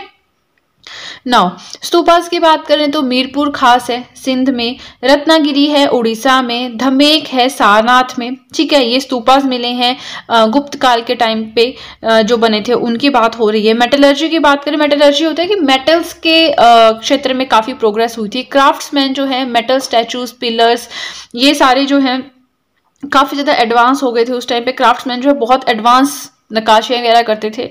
The gigantic copper statue of Buddha Buddha की एक तो ब्रॉन्ज इमेज मिली है, ये याद रखना है अपने भगलपुर में दो मीटर हाइट वाली। और दूसरी की बहुत बड़ी कॉपर स्टैचू मिला है बुद्धा का, ठीक है, सुल्तानगंज में, जिसे बिरमिंगम म्यूज़ियम में अब ले जाया गया है, साढ़े सात फीट इसकी हाइट है। तो देखिए ऐसा कुछ खास तो है नहीं बट जो भी सारे इंपॉर्टेंट पॉइंट्स हैं तो इनके नोट्स बनाने तो बनते हैं, क्योंकि अब क्वेश्चन आ सकता है बार बार आप हल्का सा इनको पढ़ेंगे ना तो आपके दिमाग में वैसे बैठ जाएँगे। याद करने की इनको ज़रूरत नहीं है, इनको बस रीड कीजिए आप एक बार, ठीक है? चलिए तो फ़र्स्ट पेज हो गया कंप्लीट अब चलते हैं नेक्स्ट पेज की तरफ़ बट आगे चलने से पहले आपको एक चीज़ बताना चाहूँगी। अगर अब आप चाहें तो मेरे हैंड रिटर्न नोट्स को परचेज भी कर सकते हैं, उसके लिए आपको क्या करना है डिस्क्रिप्शन बॉक्स में लिंक दिया है, उस लिंक पे जाके क्लिक करना है। जैसे ही आप उस लिंक पे क्लिक करेंगे, आप डायरेक्टली मेरे कॉन्टैक्ट में आ जाएँगे। प्लस जो भी आपके डाउट्स हैं क्वेश्चन हैं क्वेरीज हैं, आप मुझसे पूछ सकते हैं। एंड बिलीव मी बहुत ही ज़्यादा अफोर्डेबल रेट पे आपको नोट्स मिल जाएँगे तो ऐसा कोई इशू नहीं है। जिन नोट्स के थ्रू मैं पढ़ाती हूँ, उन्हीं की पीडीएफ आपको मिलेगी। तो इससे होगा क्या कि आपको बहुत ही कम प्राइस में एक बहुत अच्छा खासा कोर्स मिल जाएगा। क्योंकि अगर आपको पीडीएफ में कोई भी इशू आ रहा है, कुछ समझ नहीं आ रहा है तो आप उसी टॉपिक से रिलेटेड मेरी वीडियो देख सकते हैं एंड देन आपका कंसेप्ट क्लियर हो जाएगा। ठीक है? चलिए, ज़्यादा टाइम ना वेस्ट करते हुए अब चलते हैं नेक्स्ट पेज की तरफ़। The Delhi iron pillar of Gupta period Gupta शासक जो थे, गुप्त काल जो था, उस टाइम का दिल्ली में एक आयरन पिलर मिला है। बहुत खास बात है इसके बारे में तो इसके बारे में तो बिल्कुल ध्यान से सुनना बनता है। It is free from rust though completely expose to sun and rain for so many centuries अब देखिए, गुप्त शासकों ने बनाया था, कितने साल पहले बनाया था, तब से आज तक इसमें जंग नहीं लगा है, जबकि ये खुले में है। इसके ऊपर सनलाइट भी पड़ती है, बारिश होती है, तब भी होता है, हवाएँ सब, हर एक मौसम जैसा भी है चेंज होता है तो फ़र्क पड़ता है। लेकिन इसके ऊपर आज तक रस्टिंग नहीं मतलब जंग नहीं लगा है तो बहुत बड़ी सोचने की बात है। इस चीज़ को आप अपने नोट्स में ज़रूर इनकॉर्पोरेट करें। Right right? तो चलिए, हमारा आर्ट भी हो गया कंप्लीट रिलीजन भी हो गया कंप्लीट अब हमें पढ़ना है आर्किटेक्चर के बारे में। तो देखिए, कितना थोड़ा सा है, बस दो चार बातें पढ़ने वाली, है ना? आर्किटेक्चर के बारे में क्या आता है? Nagara and Dravidian styles of art evolve during this period इस शासनकाल में जो नगाड़ा एंड द्रविडियन स्टाइल थे आर्ट के, कला के, वो निखर कर आए थे। ठीक है तो ये क्वेश्चन बन सकता है कि किसके टाइम में डिवॉल्वमेंट हुई या निखर के आया ऐसा कुछ। बिना सोचे टिक लगाना है गुप्त इरा पे राइट नेक्स्ट पॉइंट है गर्भगृह। गर्भगृह क्या है? Shrine room in which the image of the god is kept आप मंदिर में जाते हैं तो मंदिर में एक कमरा होता है जिसके अंदर भगवान की मूर्ति रखी होती है। तो बस वही बात हो रही है। गुप्त शासनों जो गुप्त शासक थे, इनके टाइम पीरियड में, गुप्त रूलर्स के टाइम पीरियड में क्या था? मंदिरों में जहाँ जो है भगवान की मूर्ति रखी जाती थी, उसके लिए एक अलग से रूम बनाया जाने लगा, जिसे कहा जाने लगा garbhagriha shrine room right next point आता है द फ्रेगमेंट्री रिमेन्स ऑफ़ दस अवतारा टेंपल ऑफ़ देवगढ़ अब देवगढ़ में जो दस अवतार टेंपल हैं, इसके जो रिमेन्स हैं, अब कुछ कुछ अब देखिए इतना पुराना मंदिर है कुछ कुछ इसके शेष बचे हैं ना? तो उनसे हमें क्या पता चलता है? That is an example of most beautifully compose Gupta temple building Gupta शासन काल में जो बहुत सुंदर सुंदर मंदिर बने थे, उनमें से एक ही ये था दशावतारा टेंपल ऑफ़ देवगढ़ ठीक है? वीडियो का कंटेंट अच्छा लगे तो लाइक ज़रूर करना। लाइक करने में कंजूसी मत करना राइट चलिए नेक्स्ट पॉइंट आता है। For the first time we get images of Vishnu Shiva and other gods पहली बार ऐसा हुआ है कि जब जो है विष्णु की मूर्तियाँ बनाई जाने लगी शिव जी की मूर्तियाँ बनाई जाने लगी और जो भी बाकी भगवान थे, सबकी मूर्तियों की कंस्ट्रक्शन स्टार्ट हुई थी मैन्युफैक्चरिंग स्टार्ट हुई थी। ठीक है? लास्ट पॉइंट आता है of the Brahmanical images most impressive जितने भी हमें इमेजेस मिलती हैं, भगवानों की इसमें सबसे ज़्यादा इंप्रेसिव है द ग्रेट बोर वराह की। Carved at the entrance of a cave at Udayagiri Udayagiri में एक गुफा है। उस गुफा के एंट्रेंस पे ग्रेट बोर्ड जो है बना हुआ है। तो बस देखिए, अब इसमें याद करने वाला तो कुछ नहीं है। बस आप एक बार रीड कर लो। नकाडा ड्रेविडियन स्टाइल हो गया गर्भगृह हो गया दशावतारा टेंपल ऑफ़ देवगढ़ हो गया इमेजेस मिलने लगी Vishnu Shiva and other gods की। उदयगिरी केव पे ग्रेट बोर वरहा था। चार पॉइंट्स लिख लिए हो गया। अब देखिए क्वेश्चन बनता है तो इन्हीं में से बनता है। इसके अलावा आई डोंट थिंक कुछ बनता है, क्योंकि मैंने दो तीन जगह से देख के नोट्स बनाए बट देखिए एंशियंट हिस्ट्री मिडिवल हिस्ट्री ऐसा है ना कि जितना पढ़ लो कम है। तो हमने सारा नहीं पढ़ना, हमने कोई मास्टरी हासिल नहीं करनी है हमने कोई हिस्टोरियन नहीं बनना है हमने जस्ट मोटे मोटे पॉइंट्स उठाने हैं जो कि एग्ज़ाम में आ सकते हैं, उनकी तैयारी करनी है, ठीक है? तो चलिए, इसी के साथ हमारा आज का वीडियो हो गया कंप्लीट का आज के वीडियो में हम पढ़ेंगे रिलीजियस लिटरेचर एंड एस्ट्रोनॉमी या कह लीजिए साइंस गुप्ता एज के बारे में। तो देखिए, हम गुप्ता पीरियड पढ़ रहे थे द एज ऑफ़ गुप्ताज पढ़ रहे थे, हमने सोर्सेज के बारे में जाना, हमने सारे रूलर्स के बारे में जाना फाउंडर एक्सटेंट कैपिटल सब कुछ पढ़ा administration economy society literature art and culture architecture religion ये सब कुछ हम पढ़ चुके हैं। ठीक है हल्का सा मैंने आपको इंट्रोडक्शन दे दिया। सो so, आज हमें पढ़ना है कि जब गुप्त शासक यहाँ पे रूल कर रहे थे तो उस टाइम पे रिलीजियस लिटरेचर कौन सा डेवलप हुआ? एंड एस्ट्रोनॉमी या साइंस में क्या क्या डेवलपमेंट से विकास हुआ? ठीक है? तो जल्दी से पेपर पेन उठाएँ और वीडियो के साथ साथ में ही अपने नोट्स मेंटेन करना स्टार्ट करें। हम पढ़ेंगे रिलीजियस लिटरेचर लिटरेचर माने ग्रंथ रिलीजियस मीन्स धार्मिक। तो धार्मिक ग्रंथ जो भी डिवॉल्व हुए उस टाइम पीरियड पे, उसके बारे में हमें पढ़ना है राइट पहला पॉइंट है हिंदू टेक्स्ट जो हिंदू धर्म से रिलेटेड जो ग्रंथ थे, थोड़ा सा उनके बारे में पढ़ते हैं। Many old religious books were re written जितने भी पुराने धार्मिक ग्रंथ थे, जो प्राचीन धार्मिक ग्रंथ थे, उनको दूसरी बार लिखा गया, थोड़ा मॉडिफाई करके लिखा गया। यहाँ पे एग्जाम्पल्स बताए हैं, जैसे वायु पुराण हो गया, विष्णु पुराण हो गया, रामायण, महाभारत, मनुस्मृति, ये सारे पुराने जो है धार्मिक ग्रंथ थे बट इनको दूसरी बार मतलब फिर से लिखा गया, थोड़ा मॉडिफाई करके। तो मनुस्मृति क्या है? Translated in English under the title of institute of Hindu law Manusmriti क्या है? लॉ के ऊपर सबसे पुरानी बुक मानी जाती है है ना? तो इसको इंग्लिश में ट्रांसलेट किया गया गुप्तास के टाइम पीरियड में और टाइटल दिया गया institutes of Hindu law right और किसने ट्रांसलेट किया था? विलियम जोन्स ने। Very important question modern history में भी हम पढ़ते हैं, ठीक है? अब एक और पॉइंट है इंपॉर्टेंट जो हिंदू टेक्स्ट के बारे में आता है रिलीजियस लिटरेचर के अंडर वो है that Puranas in the modern form was were आएगा यहाँ पे। Let me correct it first. Okay. Puranas in the modern form were composed during this period इस टाइम पीरियड में जो हम आज की डेट में देखते हैं ना, जो भी पुराण लिखे हुए अठारह पुराण, वो जो मॉडर्न फॉर्म में है, वो गुप्तों के काल में ही लिखे गए थे। ठीक है? वैसे तो वो पहले लिखे गए थे बट जो मॉडर्न फॉर्म में हमारे पास अभी अवेलेबल है, वो गुप्तों के शासन काल में लिखे गए थे। गुप्त शासकों के टाइम पीरियड में लिखे गए थे। चलिए, ये तो हमने पढ़ा कि जो पुराना था, फिर से लिखा गया उसके बारे में। अब हम पढ़ेंगे न्यू टेक्स्ट नए नए कौन से ग्रंथ इस टाइम पे लिखे गए? तो इसमें आता है नारद समृति है, प्राशर समृति है, कात्यायना समृति है बृहद समृति है। ये सारे जो है, नए लिखे गए थे, नए टेक्स्ट थे, जो गुप्ता एज के टाइम पीरियड में लिखे गए थे। जैन टेक्स्ट कौन कौन से लिखे गए थे? तो वो है न्याय वर्तम किसने लिखा था? सिद्ध सेन ने। ऐसे क्वेश्चन वो उठाते हैं, जिसकी गारंटी नहीं लगती। जो लगता है ना कि ये तो आ ही नहीं सकता, कभी आया नहीं आज तक। अब कमीशन में वो एग्ज़ाम्स सॉरी वो क्वेश्चन आते हैं। तो थोड़ा सा हमें अपनी स्टडी को वास्ट करना पड़ेगा, ठीक है? और वीडियो का कंटेंट अच्छा लगे तो लाइक ज़रूर करना। लाइक करने में बहुत ज़्यादा कंजूसी करते हैं आप लोग, बहुत कम लाइक्स आते हैं तो लाइक ज़रूर करना वीडियो को, ठीक है? अब हम आगे पढ़ेंगे बुद्धिस्ट टेक्स्ट यानी जो बौद्ध धर्म के ग्रंथ है थोड़ा सा उनके बारे में पढ़ेंगे। तो विश्वधिमागा और अभिधर्म कोशा, ये दो ग्रंथ उस टाइम पे लिखे गए थे, जिस टाइम पे गुप्त शासक रूल कर रहे थे, गुप्ता रूलर्स रूल कर रहे थे। तो जो ये विशुद्धि मागा है it was written by Buddhaghosa, ठीक है? और जो अभिधर्म कोशा है it was written by Dignaga. तो ये आपने याद रखना है। नेक्स्ट आता है ब्रह्म सिद्धांता। ब्रह्म सिद्धांता क्या है? कोई टेक्स्ट होगा, ठीक है? It was translated into Arabic under the title of Sind Hind अब जो ये ब्रह्म सिद्धांत है, इसे अरेबिक यानी अरब की जो भाषा थी, उसमें ट्रांसलेट किया गया था। और जब ट्रांसलेशन हुआ तो उस बुक को नाम दिया गया सिंध हिंद का। ठीक है? नेक्स्ट आता है development of Sanskrit grammar based on Panini and Patanjali हम कहते हैं ना पनिनी पतंजलि बहुत पुराने हैं तो वो उसका जो विकास है ना, वो गुप्त शासकों के टाइम पीरियड में हुआ था। ठीक है, आगे चलने से पहले आपको कुछ बताना चाहूँगी। मैं डेली करंट अफेयर्स भी अपने चैनल पर अपलोड करती हूँ तो आप चाहें तो वो वीडियोस देख सकते हैं। देखिए करंट अफेयर्स कैसा रहता है ना कि डेली चेंज होते रहते हैं तो आपको डेली पढ़ने पड़ेंगे। पंद्रह सोलह पॉइंट्स में डेली डिस्कस करती हूँ। पंद्रह मिनट की अप्रॉक्सीमेटली वीडियो रहती है। समटाइम्स होता है बीस मिनट के अदरवाइज़ पंद्रह सोलह मिनट की वीडियो होती है। तो दिन में अगर आप पंद्रह सोलह मिनट करंट अफेयर्स को दे रहे हैं, बहुत अच्छी कमांड आपके इनके ऊपर हो जाएगी, ठीक है? तो आपकी चॉइस है, आप देखना चाहें, आप देख सकते हैं राइट चलिए नेक्स्ट पॉइंट आता है, हम रिलीजियस लिटरेचर पढ़ रहे हैं, गुप्त शासकों का तो इसमें नेक्स्ट पॉइंट आता है, मृच कतिकम मृच कतिकम। अब ये क्या है, मृचा कतिकम? आप प्रोनाउंसिएशन देख लेना या हिंदी में देख लेना। So it was a love story of a poor Brahmin Charudatta and the virtuous courtesan Vasantasena ये बहुत फ़ेमस रहता है ये वाला जो क्वेश्चन है। गरीब ब्राह्मण था चारुदत्त और एक बहुत समझदार दरबारी थी वसंत सेना। उनके बीच की लव स्टोरी है ये, ठीक है? इट वॉज़ रिटन बाय किसने लिखी थी? पहला क्वेश्चन तो ये बनता है so it was written by Sudraka. Sudraka ने इसे लिखा था मेनली इसमें सिटी लाइफ शहर की ज़िंदगी कैसी होती है उसके ऊपर लिखी गई है।